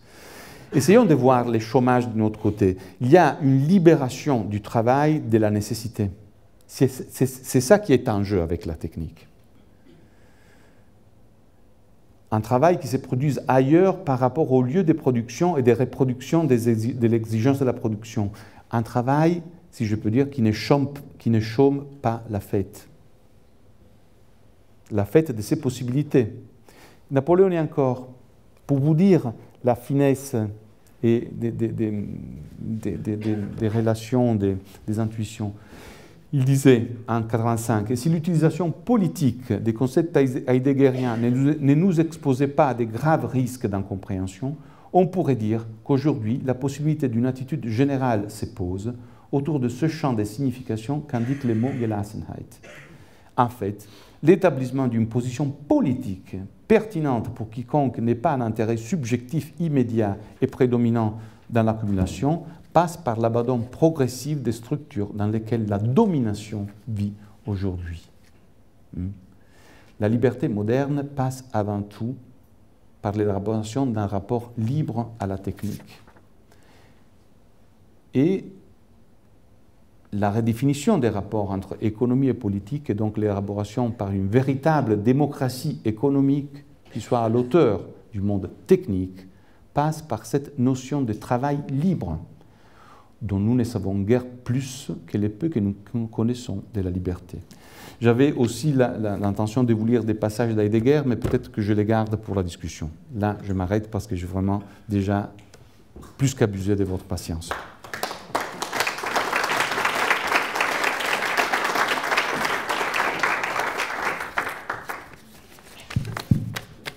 Un grand merci à toi, Massimo. C'était très riche, euh, très dense et intense.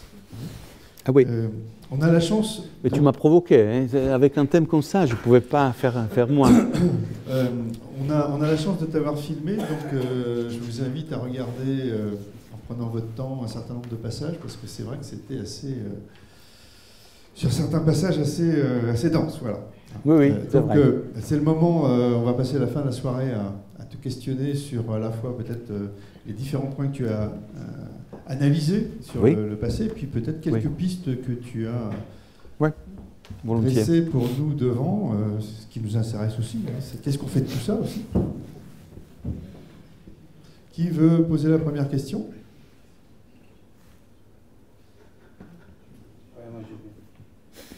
Ah, ça m'a étonné. Merci. Et puis j'ai envie de remercier Massimo parce que c'était vraiment très, très construit. Euh, euh, c'est quand même rare hein, qu'on ait des interventions de, de ce niveau-là, de cette qualité-là, etc. à cette heure-là. Euh, bravo à tout le monde parce que c'était bah haut, et chaud et on n'a pas chômé. Ah non. moi, je donnerais plutôt des notes de, de, tendance pour, comment dire, pour peut-être installer un débat. Il y, a, vraiment beaucoup de choses que tu, que tu dis et notamment ce que je, parmi les grands sujets que je retiens de, cette intervention, c'est cette manière de montrer en quoi les contradictions apparentes euh, nous enferment dans le même système d'aliénation. Et comment, dans euh, la critique de la société, à travers les deux siècles qu'on a traversés, depuis euh, la période des Lumières, on a avancé en fait dans un grand mouvement de balancier qui reposait sur les mêmes valeurs, sur les mêmes fondements, et qui, euh, à chaque fois, nous, euh, nous entraîne dans une position qui est un peu la précipitation dans le mur. Et je retiens une première phrase que tu as citée, Massimo, qui est de toi. La sortie du danger ne prend pas la forme de rentrer dans quelque chose d'autre. Et c'est ça que je trouve d'assez exigeant, en fait, sur la manière dont on doit construire les temps qui viennent c'est-à-dire qu'on ne peut pas les construire par opposition à quelque chose, mhm. mais par construction euh, d'un élément qui élargit, qui... Euh, en économie, souvent on dit euh, est-ce qu'il faut creuser le sillon ou est-ce qu'il faut l'élargir? Et vous avez toujours les tenants de l'entreprise qui creuse le sillon, très spécialiste, et puis de celle qui l'élargit, c'est-à-dire qui essaye de, de, ratisser au plus large, même s'il y a des scories au passage. Et en fait, on ne parle jamais à l'intérieur de ces systèmes-là des systèmes d'aliénation, c'est-à-dire de, euh, projection dans, les valeurs de l'autre, euh, mais de l'autre comme euh, un inconsistant qui m'aliène, qui m'extrait de moi-même. je, trouve que c'était compliqué ce que tu as raconté, mais en même temps, c'était très illustrant de toute une série de sujets sur lesquels on bute de temps en temps sans savoir comment, euh, comment en sortir. Et euh, euh, bah, je vous laisse la parole. Si, vous voulez choper des exemples qui, vous intéressent et sur lesquels vous pouvez accrocher votre propre expérience à ce que vient de nous dire Massimo, je trouve qu'il y a vraiment des, des, choses à prendre, que ce soit sur l'histoire ouvrière. Et, moi, je suis un peu choqué par ce que tu as raconté. mais on voit bien cette histoire de la classe ouvrière comme, euh, euh, comme une espèce de, de, de, corps social qui aurait porté des vertus euh, révolutionnaires, enfin idéales, sans parler de révolutionnaires, et que tout le monde a idéalisé dans un sens ou dans un autre, sans nécessairement se poser la question de c'est quoi l'aliénation ouvrière? Et je rappelle quand même que le gendre de Marx, Lafargue, a juste écrit un bouquin qui a énormément horripilé son beau-père, c'est le droit à la paresse. Et quand il commence son bouquin, euh, après, je te passe la parole parce que c'est non, non, non, vas-y, vas-y. Mais quand il, quand il, dans l'introduction de son bouquin, euh, Lafargue ne raconte qu'une chose, c'est l'aliénation au travail et à la machine. Et là, pour le coup, on voit bien tout le, tout, euh, comment dire, le, le basculement qu'il peut y avoir dans la relation homme, machine et construction sociale. Yannick, on a une question ici. Merci. Euh, moi, ma question euh, porte sur euh, le lien entre démocratie et capitalisme que vous avez essayé d'évoquer. Si j'ai bien compris, vous dites qu'il n'y a pas de lien de cause à effet, c'est-à-dire que la démocratie n'induit pas le capitalisme, on va dire. Je me souviens avoir entendu aussi un philosophe à la télé il y, a, plusieurs années de ça, il a dit quelque chose qui ressemble à la démocratie existe dans les pays où le capitalisme est débridé, ou quelque chose comme ça. Donc est-ce que il y a un lien de cause à effet entre, dans le sens, le capitalisme permet à la démocratie de vivre et que du coup, sans capitalisme, pas de démocratie? Peut-être en continuité de ce qui est dit, euh, pour ceux qui étaient là samedi à l'intervention de Dominique Bourg euh, au LU, il a il appuyait sur le fait que le, le néolibéralisme allait tuer la démocratie. Donc peut-être que tu peux aussi commenter. oui, la première chose que je voudrais dire, c'est que si la démocratie doit être permise par quelque chose d'autre qu'elle, ben, évidemment, elle a, elle a, déjà perdu son autonomie. Il me semble euh, la première chose à dire. Euh, et puis, encore une fois, si vous voulez, là, euh, ça aurait compliqué encore plus le cadre, je n'ai pas voulu, mais évidemment, euh, j'ai pris les termes démocratie euh, de façon assez formelle, c'est-à-dire, après, il faudrait se, demander ce que c'est la démocratie. J'ai essayé une, définition, disons, pour nous orienter, non la, la, liberté partagée, les partages de la liberté. Mais c'est évident que euh, si, euh, disons, ça c'est une piste, parce que si la démocratie est vraiment quelque chose qui a à faire avec les partages, et un partage qui n'exclut personne, évidemment, mais alors le capitalisme n'est pas, n'est pas à, mesure de pouvoir assurer ces partages, parce que justement sa logique est une logique qui admet tranquillement l'exclusion et l'expulsion. Et c'est pour ça que je dis, euh, il y a coïncidence, mais il n'y a pas affinité. Alors, euh, ce qui ne veut pas dire qu'alors euh, démocratie, communisme, fascisme, c'est la même chose. Ça veut dire tout simplement que même la démocratie n'est pas à l'auteur du monde qui s'ouvre avec les possibilités techniques ouvertes par le capitalisme. Mais pour répondre à ce que disait justement Yannick, euh, oui, euh, toute ma réflexion euh, philosophique, si vous voulez, politique et économique, est liée justement à ce fait assez particulier dans, particulier dans lequel je crois qu'on se trouve maintenant. Et c'est-à-dire que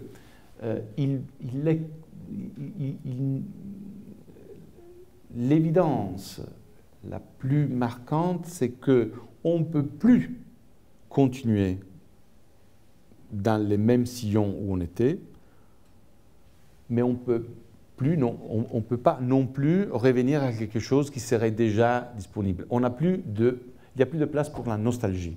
Alors, face à cette, à cette question, euh, question c'est ça que notre pauvreté s'ouvre, une, pauvreté conceptuelle, dépensée avant tout, mais qu'il faut savoir assumer. C'est-à-dire que ce qui a ce qu'il y a de vraiment nouveau dans, la situation de, ces, nouvelles siècles qui s'ouvrent, c'est évidemment le fait qu'il n'y a aucun précédent qui puisse nous aider pour sortir de la situation qui est objectivement d'impasse dans laquelle on s'est trouvé.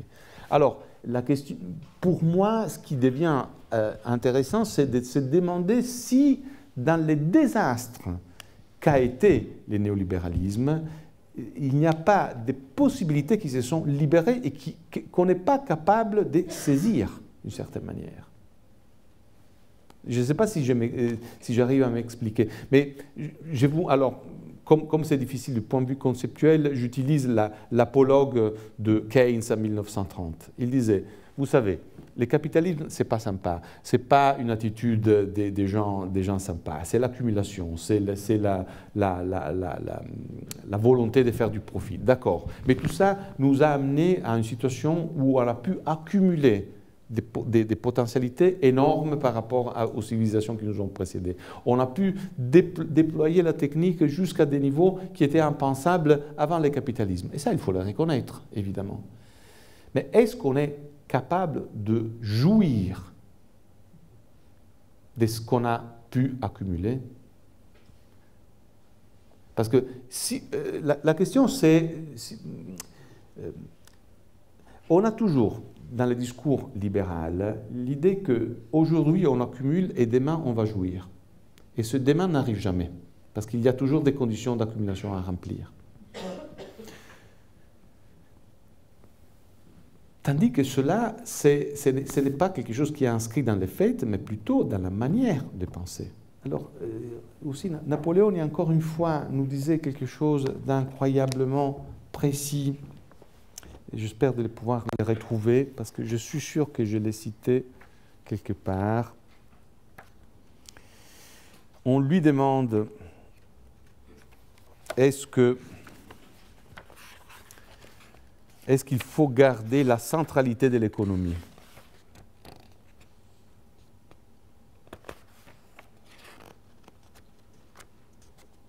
Voilà. Voilà. On lui demande, dans le raisonnement que tu es en train de développer, quelle place reste-t-il pour une centralité de l'économique? Je dirais, il répond, que la place reste et en même temps est enlevée, au sens que la centralité de l'économique, à un certain égard, ne peut qu'être constatée. On est dans un monde où les relations économiques sont fondamentales fondamentales au sens qu'elles sont, sont nécessaires et elles priment sous toute autre relation. C'est-à-dire que, la, disons, les grands chantages, c'est voilà, tu veux faire quelque chose, mais est-il possible, est-il durable? On peut le faire. Est-ce qu'il est financièrement faisable ce que tu veux faire ou pas? Donc l'économie a les, derniers mots sur les décisions à prendre. Donc la centralité, il faut la constater d'une certaine manière. Je veux dire, on ne peut pas se passer d'en prendre acte. Toutefois, à l'intérieur de ce que nous pouvons continuer à appeler une tâche, cette centralité, il faut bien la nier. Nier la centralité de l'économie. À cette précision près, qui, ne semble, qui semble n'être que terminologique, mais les questions terminologiques ne sont jamais en réalité des questions purement nominales. Soit la précision qu'économique est un mot très équivoque. Économique, alors voilà, équivoque. On est dans l'équivoque. On, essaye de nommer avec le même nombre de choses qui sont différentes et, on, risque de perdre les, vraies différences. Ah, euh, les mots économiques est un mot très équivoque. Économique, économie, économicité, économie politique, ce sont tous des mots équivoques et pour une raison substantielle. Les complexes des catégories, des discours qui appartiennent à, ces langages ont été pensés et élaborés en référence à une réalité sociale déterminée, à savoir la réalité capitaliste bourgeoise. Là aussi, c'est un fait purement historique à constater. L'économie naît avec le capitalisme. L'économie comme science, l'économie politique naît avec le capitalisme. Et, mais avec la prétention de dire la vérité de toute économie, pas seulement du capitalisme. Les complexes des catégories, des discours qui appartiennent à, ce langage ont été pensés et élaborés en référence à une réalité sociale déterminée, à savoir la réalité capitaliste bourgeoise. Les discours économiques gagnent en consistance et autonomie exactement en correspondance avec les gains de consistance et d'autonomie de la vie productive, du moment productif comme dimension prédominante qui prend les pas sur tous les autres. Donc, en un sens, la question devient une question tautologique. Parce que si l'économie est cette chose-là, alors il est évident que l'instance se pose d'enlever cette centralité. Et la technique pourrait nous aider, de certaine manière. On n'a plus besoin, la technique qui expulse le travail de la production nous dit qu'on n'a plus besoin de travailler pour vivre. Essayons de voir l'autre côté. Et on pourrait même construire des politiques là-dessus. En France, on est arrivé aux 35 heures, mais peut-être qu'il faudrait arriver à 20 heures. Keynes, en, rigolant, mais pas trop, il disait, au fond, en 2030, on pourrait s'imaginer de travailler deux heures par jour juste pour contenter les petits vieux Adam qui vivent en nous et qui pensent que le travail est fondamental pour être des hommes. Mais au fond, on serait vraiment libre du travail en tant qu'activité nécessaire pour survivre. Et on pourrait être libre pour le travail en tant qu'activité libre de toute finalité, par exemple. On est dans un vrai changement de paradigme, là. Hein? Mais on est dans, mais oui, oui, oui, mais c'est ça qu'il dit. Et alors, évidemment, si, euh, si l'économie est centrale au sens du capitalisme, euh, la rareté sera la, dimension dans laquelle nous, nous mouvons. Si on arrive à penser le travail comme un travail libre, c'est l'abondance la dimension dans laquelle on est déjà. On est déjà dans l'abondance. Travail comme activité. Et donc, comme praxis, là, justement, euh, Aristote dit euh, la différence entre praxis et poiesis, c'est que la praxis n'a autre fin que soi-même. Quand je me promène, je le fais pour le plaisir de me promener. La promenade, c'est une praxis. Faire euh, un paire de chaussures, c'est de la poiesis. Et dans la politique, il dit, la vie n'est pas poiesis, elle est praxis. La vie n'est pas production et jouissance. Et moi, je l'ai traduit comme ça. Est-ce qu'on est prêt pour la jouissance ou pas?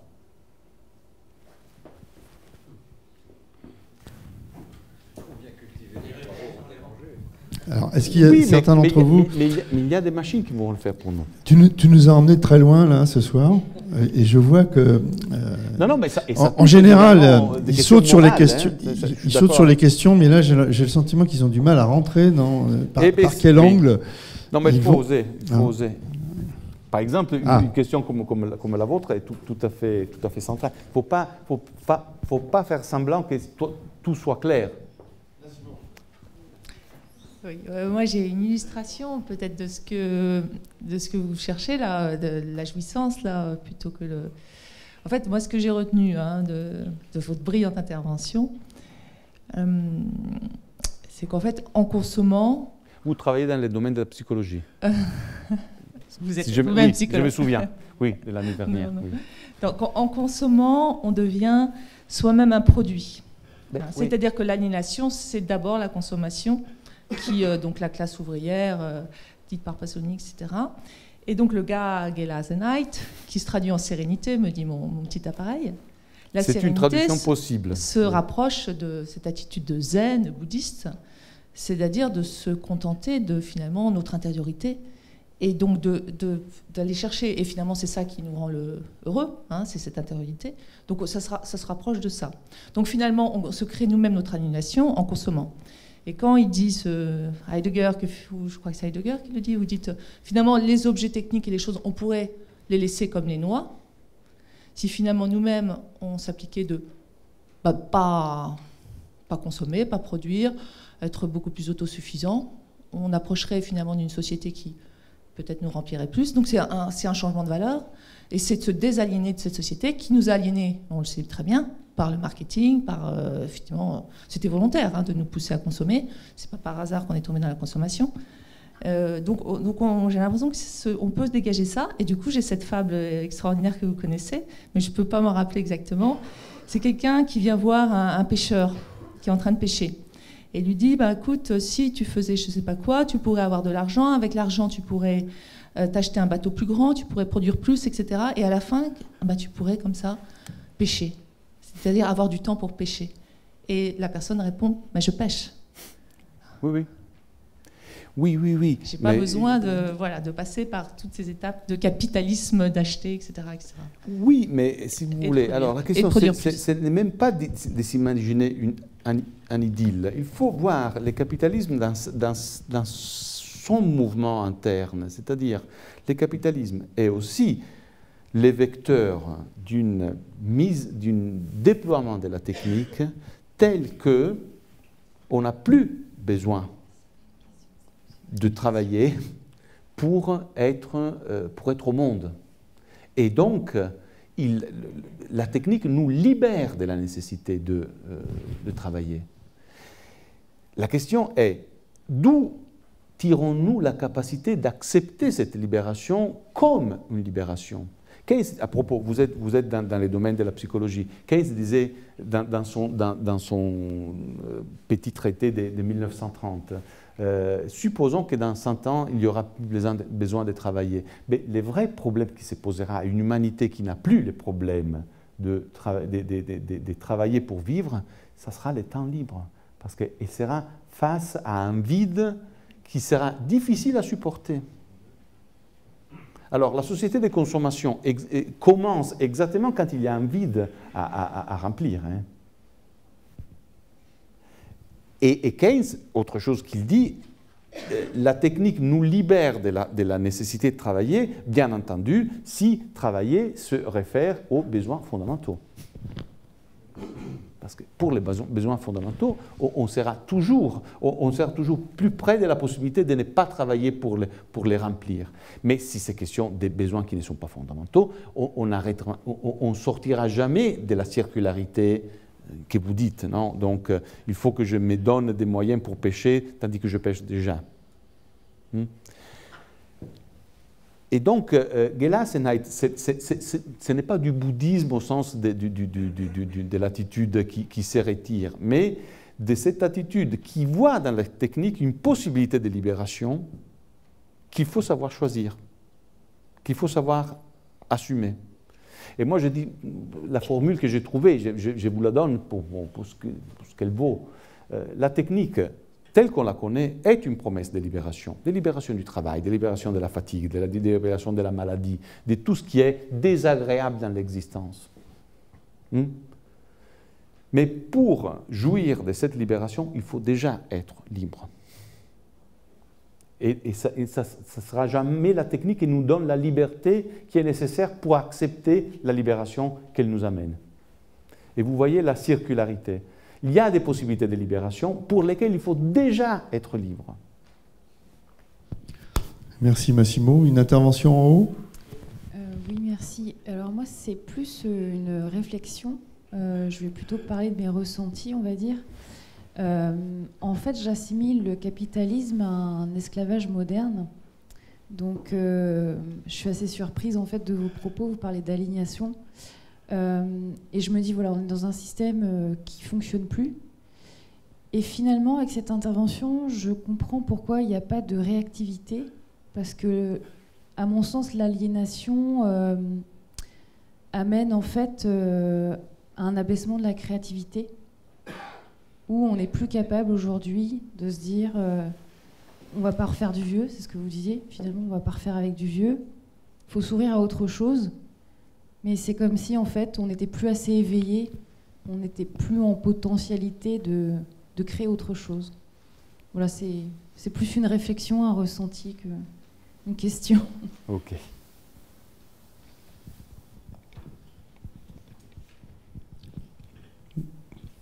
Une question Yannick là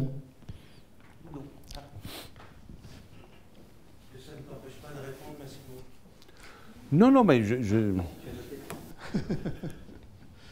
Euh, juste, une, remarque sur la technique euh, et le capitalisme. J'ai peur que la, chaîne de Ponzi de la technique euh, se heurte à la finitude de la planète assez rapidement et qu'on va, on aille vers un effondrement brutal.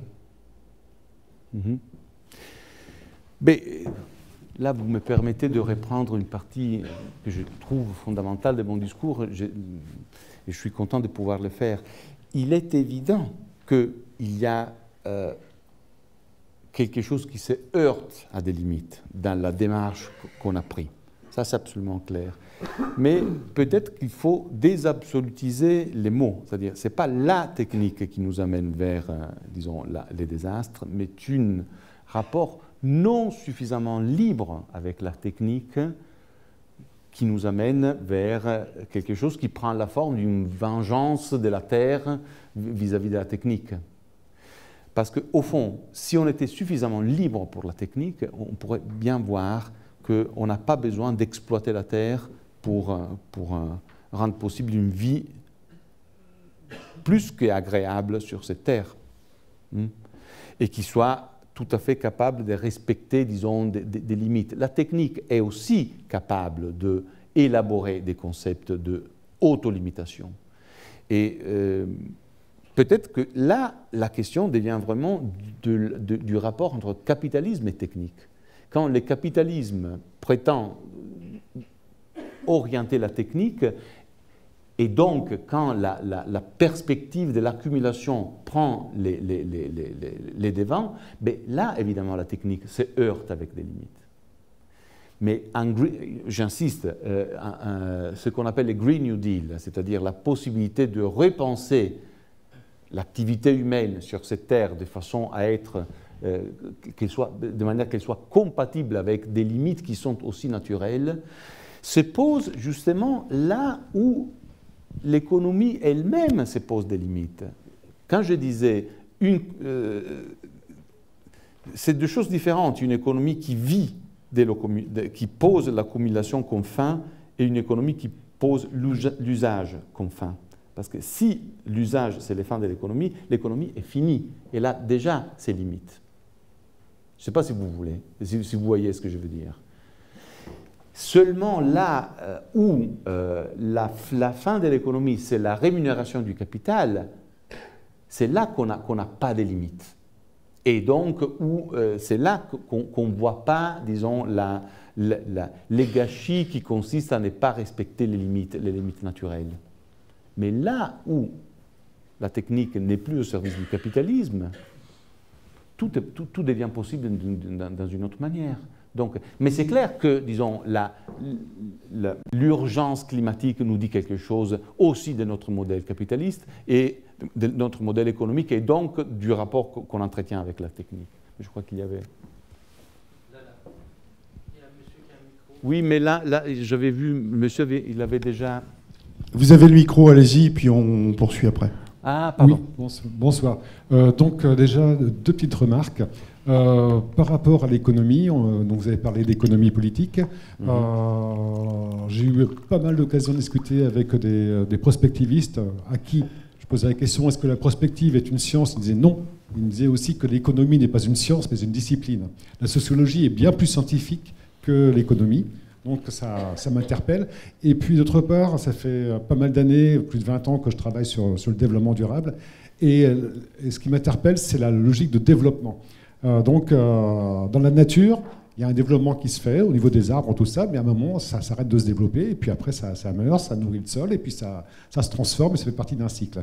Et là, on a l'impression, dans notre, dans notre société, que le développement, c'est quelque chose qui est important, et qu'il faut absolument que ça continue à se développer. Et donc ça m'interpelle notamment par rapport à l'urgence climatique, par rapport à l'intérêt génération future. Et donc euh, ce qui m'interpelle aussi, c'est quand on regarde les dates, là, 1985, c'est...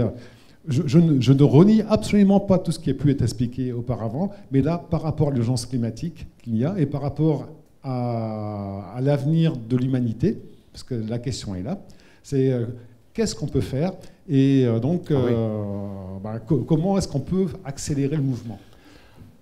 Alors, la question des dates est importante. Évidemment, euh, l'urgence est là, mais il faut distinguer entre une urgence qui est toujours plus empiriquement évidente et une urgence qui était déjà euh, évidente de façon transcendantale à un Keynes. Quand il dit la logique du, euh, du comptable nous empêche de respecter la beauté de la nature, il fait exactement ce discours de limitation. Il dit une activité qui soit vraiment économique ne peut pas être telle à ne pas respecter la beauté de la nature. Parce que si on a une activité économique qui ne la respecte pas, cette activité n'est pas économique et la science qui prétend de l'expliquer n'est pas une science. Parce qu'elle n'a pas, pas en soi la bonne mesure. Alors, euh, sur la question de la scientificité de l'économie, oui, c'est une question assez ouverte. Euh, c'est Marx qui l'ouvre, c'est Keynes qui la reprend. Euh, c'est Napoléon aussi qui la reprend parce que la question c'est aussi euh, est-ce qu'on peut avoir une, une science qui n'est pas capable d'élaborer ses propres mesures? Alors, il faut qu'on admette que les deux mesures de la valeur que l'économie a essayé de, de, développer ne tiennent pas. La théorie de la valeur travail ne, ne, tient pas, la théorie de la valeur utilité ne tient pas. Donc on, est dans une situation où nous manquons d'un rapport à la mesure. C'est pour ça que je disais attention à la monnaie, parce que la monnaie, c'est la seule mesure qu'on a en économie.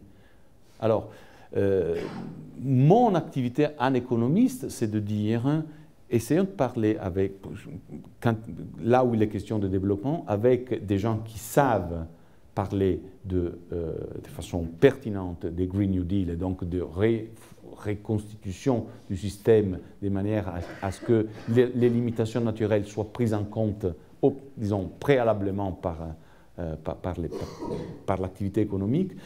Mais surtout, n'imaginons pas que les Green New Deal puissent se faire sans changement de notre rapport à la monnaie et à, au, la finance, c'est-à-dire aux moyens de financer les investissements qui sont impliqués par par les Green New Deal. Et là, on devient beaucoup plus... Cette question philosophique se traduit aussi dans des, dans des, dans des programmes politiques et des politiques économiques. On ne peut pas s'imaginer de L'année dernière, on l'avait dit, euh, si on pense de faire face à la transition, euh, aux problèmes écologiques sans tenir compte des questions de, la, distribution économique, on crée les gilets jaunes. C'est-à-dire, euh, on, veut l'air propre, on met l'impôt sur, sur, sur, les, sur, les, sur les diesels. Et on, et, on, et on, essaie de résoudre un problème qui est réel, celui de l'air, avec une taxe qui est régressive. Donc il faut évidemment trouver la manière de remettre ensemble les objectifs, euh, disons, de redéfinition verte de l'économie et la manière de financer les investissements qui sont nécessaires. Ça, c'est une question pratique et analytique fondamentale. Tout le monde dit qu'il faut faire les Green New Deal, peu de monde dit comment il faut les faire. Comment on va les financer parce que moi je dis, et je, l'ai dit aussi à, des vertes ici, la première, la première cho chose verte qu'il faudrait vraiment faire, c'est la monnaie. C'est-à-dire, il faudrait s'imaginer une monnaie biodégradable. C'est-à-dire une monnaie qui ne s'accumule pas indéfiniment. Parce que la, la, monnaie qui finance notre rapport à la, à la, à la limite doit être elle-même elle aussi limitée. Et notre rapport à la monnaie doit changer. À l'argent, donc. Oui. Euh, bonsoir. Enfin, ça fait parfaitement écho, je pense. J'ai souvenir, ça, ça fait par... enfin, ce que vous dites là fait parfaitement écho à ce que j'avais en tête. Moi, je me souviens de votre première conférence, ici, enfin, en tout cas, la première à laquelle j'ai assisté euh, ici, à laquelle euh, vous parliez de, des trois fonctions de la monnaie, euh, et j'avais trouvé ça enfin, éclairant. Et du coup, j'ai souvenir que vous citiez Keynes sur le temps c'est de l'argent, en expliquant du coup que finalement, euh, la fonction cumulative de, enfin, si j'ai bien compris, la fonction cumulative de la monnaie répondait finalement à notre euh, peur de la mort, euh, voilà. Et du coup, je me demandais si, euh, enfin, ça c'est à, titre individuel, et du coup là vous disiez que c'est le capitalisme par nature qui a une fonction cumulative, mais du coup c'est le capitalisme dans sa fonction ou c'est les individus dans le capitalisme qui ont, cette... Le capitalisme, cette attitude, c'est cette attitude métaphysique de l'homme qui nie la mort. Ça, c'est absolument clair. L'impossibilité du capitalisme. Alors, pour le dire de façon abrupte, l'impossibilité existentielle du capitalisme consiste dans le fait que le capitalisme existe en niant la mort et en pliant la technique euh, à, un instrument pour obtenir l'immortalité. Ça, c'est absolument clair. C'est-à-dire l'infini, la, la, de, de toute limite. Et quelle limite euh, est, plus insupportable que les limites de la mortalité? Donc, cette, cette, peur de la mort qui fait que chacun de nous soit, disons, euh,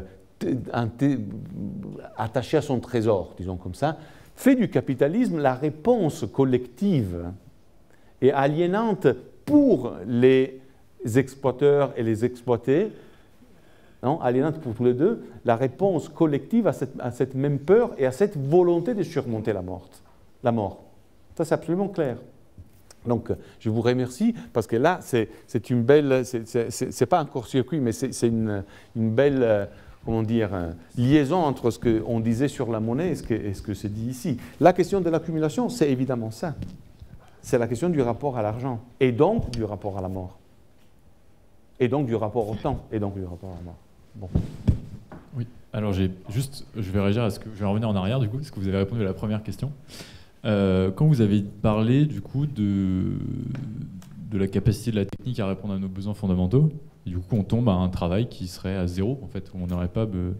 Moi c'est quelque chose que j'ai pas compris, parce que je pense qu'il y a pas mal de, je sais pas si on peut dire de, travaux ou de, fonctions euh, qui ne sont euh, moi, j'ai eu des études scientifiques. La technique peut faire beaucoup de choses, mais on oublie que la technique ne peut pas faire beaucoup de choses on est un peu comme des enfants fascinés par ce que peut faire la technique, mais ça n'empêche pas que beaucoup de choses qu'on ne peut pas faire. Il y a plein de professions euh, qui sont euh, professeurs, des infirmiers, euh, des avocats, des juges, en fait plein de choses qu'on ne sait pas si la technique pourra remplacer, et que même en tant que société, est-ce qu'on a envie que, est-ce qu'on, si on avait le choix, on aurait envie qu'elle soit remplacée? Mm-hmm. Donc c'est pour ça en fait il y a plein de choses. qu'est-ce que vous entendez par besoins fondamentaux? Parce que je pense que je vais prendre un exemple euh, simple. Euh, donc j'ai été, euh, j'ai été volontaire dans une association qui vient en aide aux réfugiés. J'aurais pu avoir des machines incroyables qui pourraient répondre à ce que je faisais, ce qui me prenait le plus de temps, ça veut dire répondre à leurs besoins fondamentaux, qui sont les nourrir, les, soigner, les, habiller, etc. Plein de choses qui sont fondamentales. Mais je pense que, que ces personnes-là qui étaient du coup dans le besoin et qui seraient les personnes qu'on aimerait tirer dans le futur vers le haut, euh, ce qu'elles avaient besoin, c'est de ma présence physique en tant qu'humain. Et ça, euh, je pense que si, c'était quelque chose qu'on pouvait, qui pourrait devenir un travail, parce qu'on n'aurait plus plus besoin de courir justement après. Euh, j'étais volontaire, donc je ne courais pas après l'argent. Euh, c'est quelque, quelque, chose qui peut prendre beaucoup de place. Enfin, je pense que et on en a tellement besoin que ça peut occuper euh, tout le monde. C'est ça que, c'est ça que du coup, j'ai pas compris dans ce que vous avez dit. Euh. Non, non, non, bien sûr, bien sûr, bien sûr. Massimo, est-ce que ça t'ennuie si on prend la dernière question et puis tu réponds en même temps aux deux? Euh, Oui, non, ça va. ok. Ça t'ennuie, mais tu acceptes de le faire? Ben, Moi, normalement, je réponds tout de suite à. Bon, alors vas-y, vas-y. Non, parce que là, là, vous ne pouvez pas dire la chose plus clairement que ça. C'est-à-dire que ce qui est fondamental, ce n'est pas la partition des besoins entre fondamentaux et non fondamentaux. Ce qui est fondamental est la partition, c'est-à-dire de comprendre jusqu'où la substitution de la, machine peut arriver et jusqu'où elle ne peut pas. Parce que ce que vous dites, c'est exactement ça. La machine, en, me libérant de tout ce qu'elle peut faire machinalement, libère aussi ma possibilité d'être encore plus physiquement nécessaire, donc spirituellement nécessaire pour les rapports avec les, autres êtres humains. Mais à ce point-là, à ce point-là, est-ce que c'est un travail au sens de quelque chose, le travail qui, vous reste à faire, est-ce est un travail qu'on peut mesurer en termes de productivité? Mais évidemment non. Alors la libération du travail, c'est la libération, la libération du travail dès la productivité. Et à ce point-là, j'oserais dire aussi du salaire qui mesure la productivité. Il faut que des gens comme vous et, et, comme bien d'autres qui, qui, ont cette capacité, soient, soient mises dans la capacité de libérer leur travail indépendamment de leur productivité. La destruction du service national euh, de santé en, Angleterre est liée à des, à des idées de productivité. Tandis qu'évidemment, il y a euh, tous les, tous les euh, domaines de, de, de, la vie humaine qui ont du sens ne, se mesurent pas avec la productivité. Et là, vous voyez, Keynes, il faut le lire et le relire. Quand il dit qu'il faut se libérer de l'esprit du comptable, il ne il, dit pas qu'il faut dépenser sans compter. Il, faut, il dit qu'il y a beaucoup de choses dans lesquelles il faut rester prudent du point de vue comptable, mais pas toutes. Et donc la question, la question fondamentale, c'est d'où où, où, je tire la ligne. Parce que là, c'est l'origine de la liberté euh, dans le travail dont vous parlez. Je ne sais pas si je vous ai répondu, mais c'est ça qui m'a suscité votre juste euh, observation, remarque. Massimo, on prend la dernière question, puis tu en profites aussi pour euh, peut-être conclure la soirée Oui. Oui, vous avez commencé votre exposé en nous parlant de la fin d'un cycle Moi, ça m'a fait tout de suite penser à Schumpeter, au cycle de Kondratiev, etc. Est-ce que, d'une manière euh, peut-être euh, illusoire mais optimiste, on ne pourrait pas dire que dans le fond, euh, les cycles s'enchaînant les uns après les autres, il va bien se trouver quelque chose qui va reprendre les morceaux antérieurs, plus la, poussée de la, pensée, etc. Et, finalement, on va aboutir dans un nouveau cycle mais euh, durant peut-être euh, quelques dizaines d'années, enfin, et quelque chose en tout cas qui va dépasser notre manière à nous d'aborder les choses qui sont forcément euh, un peu limitées dans le temps. Est-ce que dans le fond, on ne peut pas faire confiance à l'avenir? Faire confiance? À l'avenir. À l'avenir. Bah oui, mais il faut faire confiance à l'avenir. Et alors, il et, et, j'ai fait tellement confiance à l'avenir que je distingue entre les, les justes cyclicités dont vous parlez, Kondratiev, donc la cyclicité au sens du fait qu'il y a une tendance, disons, de, euh, l'équilibre à se retrouver dans, dans, les changements, si vous voulez, et au fait qu'à un certain moment, il y a aussi des écarts. Donc que la, la, la, la répétition n'est jamais la répétition de l'identique. Donc, euh, dans, la fin d'un cycle, il y a aussi certes la possibilité de récupérer, par exemple, tout ce qu'on a mis de côté, c'est-à-dire euh, l'intervention publique, la, la, redétermination d'un rapport différent entre le privé et le public, tout ce que vous voulez. Mais il y a aussi la possibilité de quelque chose d'absolument nouveau qui n'a pas été vu jusqu'ici et qui risque de ne pas être vu, même pas aujourd'hui. Parce que la tentation est forte de dire, voilà la pendule. C'était les marchés, mais, maintenant c'est l'État. Et puis ça sera encore les marchés, parce que quand on aura, on aura marre, disons, de l'État et de la, bureaucratie, on dira, on revient au marché. Je l'ai dit au, début, la force des Thatcher, c'était la, faiblesse du welfare state. Si, des gens, si des, décérébrés comme euh, Reagan et Thatcher ont pu euh, gagner la, bataille idéologique, c'était déjà, déjà perdu il faut voir la faiblesse non, de la construction étatique et welfariste, disons, du, welfare state et de l'État-providence des années 60-70. Il faut voir qu'il y avait quelque chose qui n'avait pas été vu. Et c'est ça qui, nous dit Napoléon. On a essayé d'imaginer, de construire avec le welfare state un paradis sur Terre sans tenir compte de la question de l'aliénation, c'est-à-dire de la liberté. Et alors, moi j'ai dit, je, veux tout jeter du néolibéralisme, sauf les mots liberté.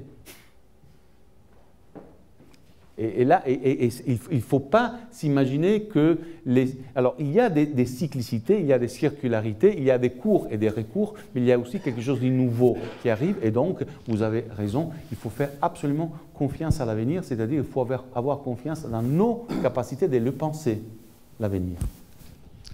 Merci Massimo. Alors confiance à l'avenir, euh, je crois qu'on est d'abord ça, ça, nous fait vivre. Il hein. faut juste y rajouter euh, dans ces cycles, dans ces circularités, la dimension écologique, euh, climatique, biodiversité, qui va tout juste bouleverser un peu vos, activités économiques là. non, non, mais c'est de ça qu'on a parlé. Un grand merci à toi. tu as mis la barre assez haute ce soir, hein, je crois. je m'en rends compte. Et merci tu t'en rends compte. merci à tous. Euh, on se reverra. Donc, il n'y aura pas de conférence débat en janvier.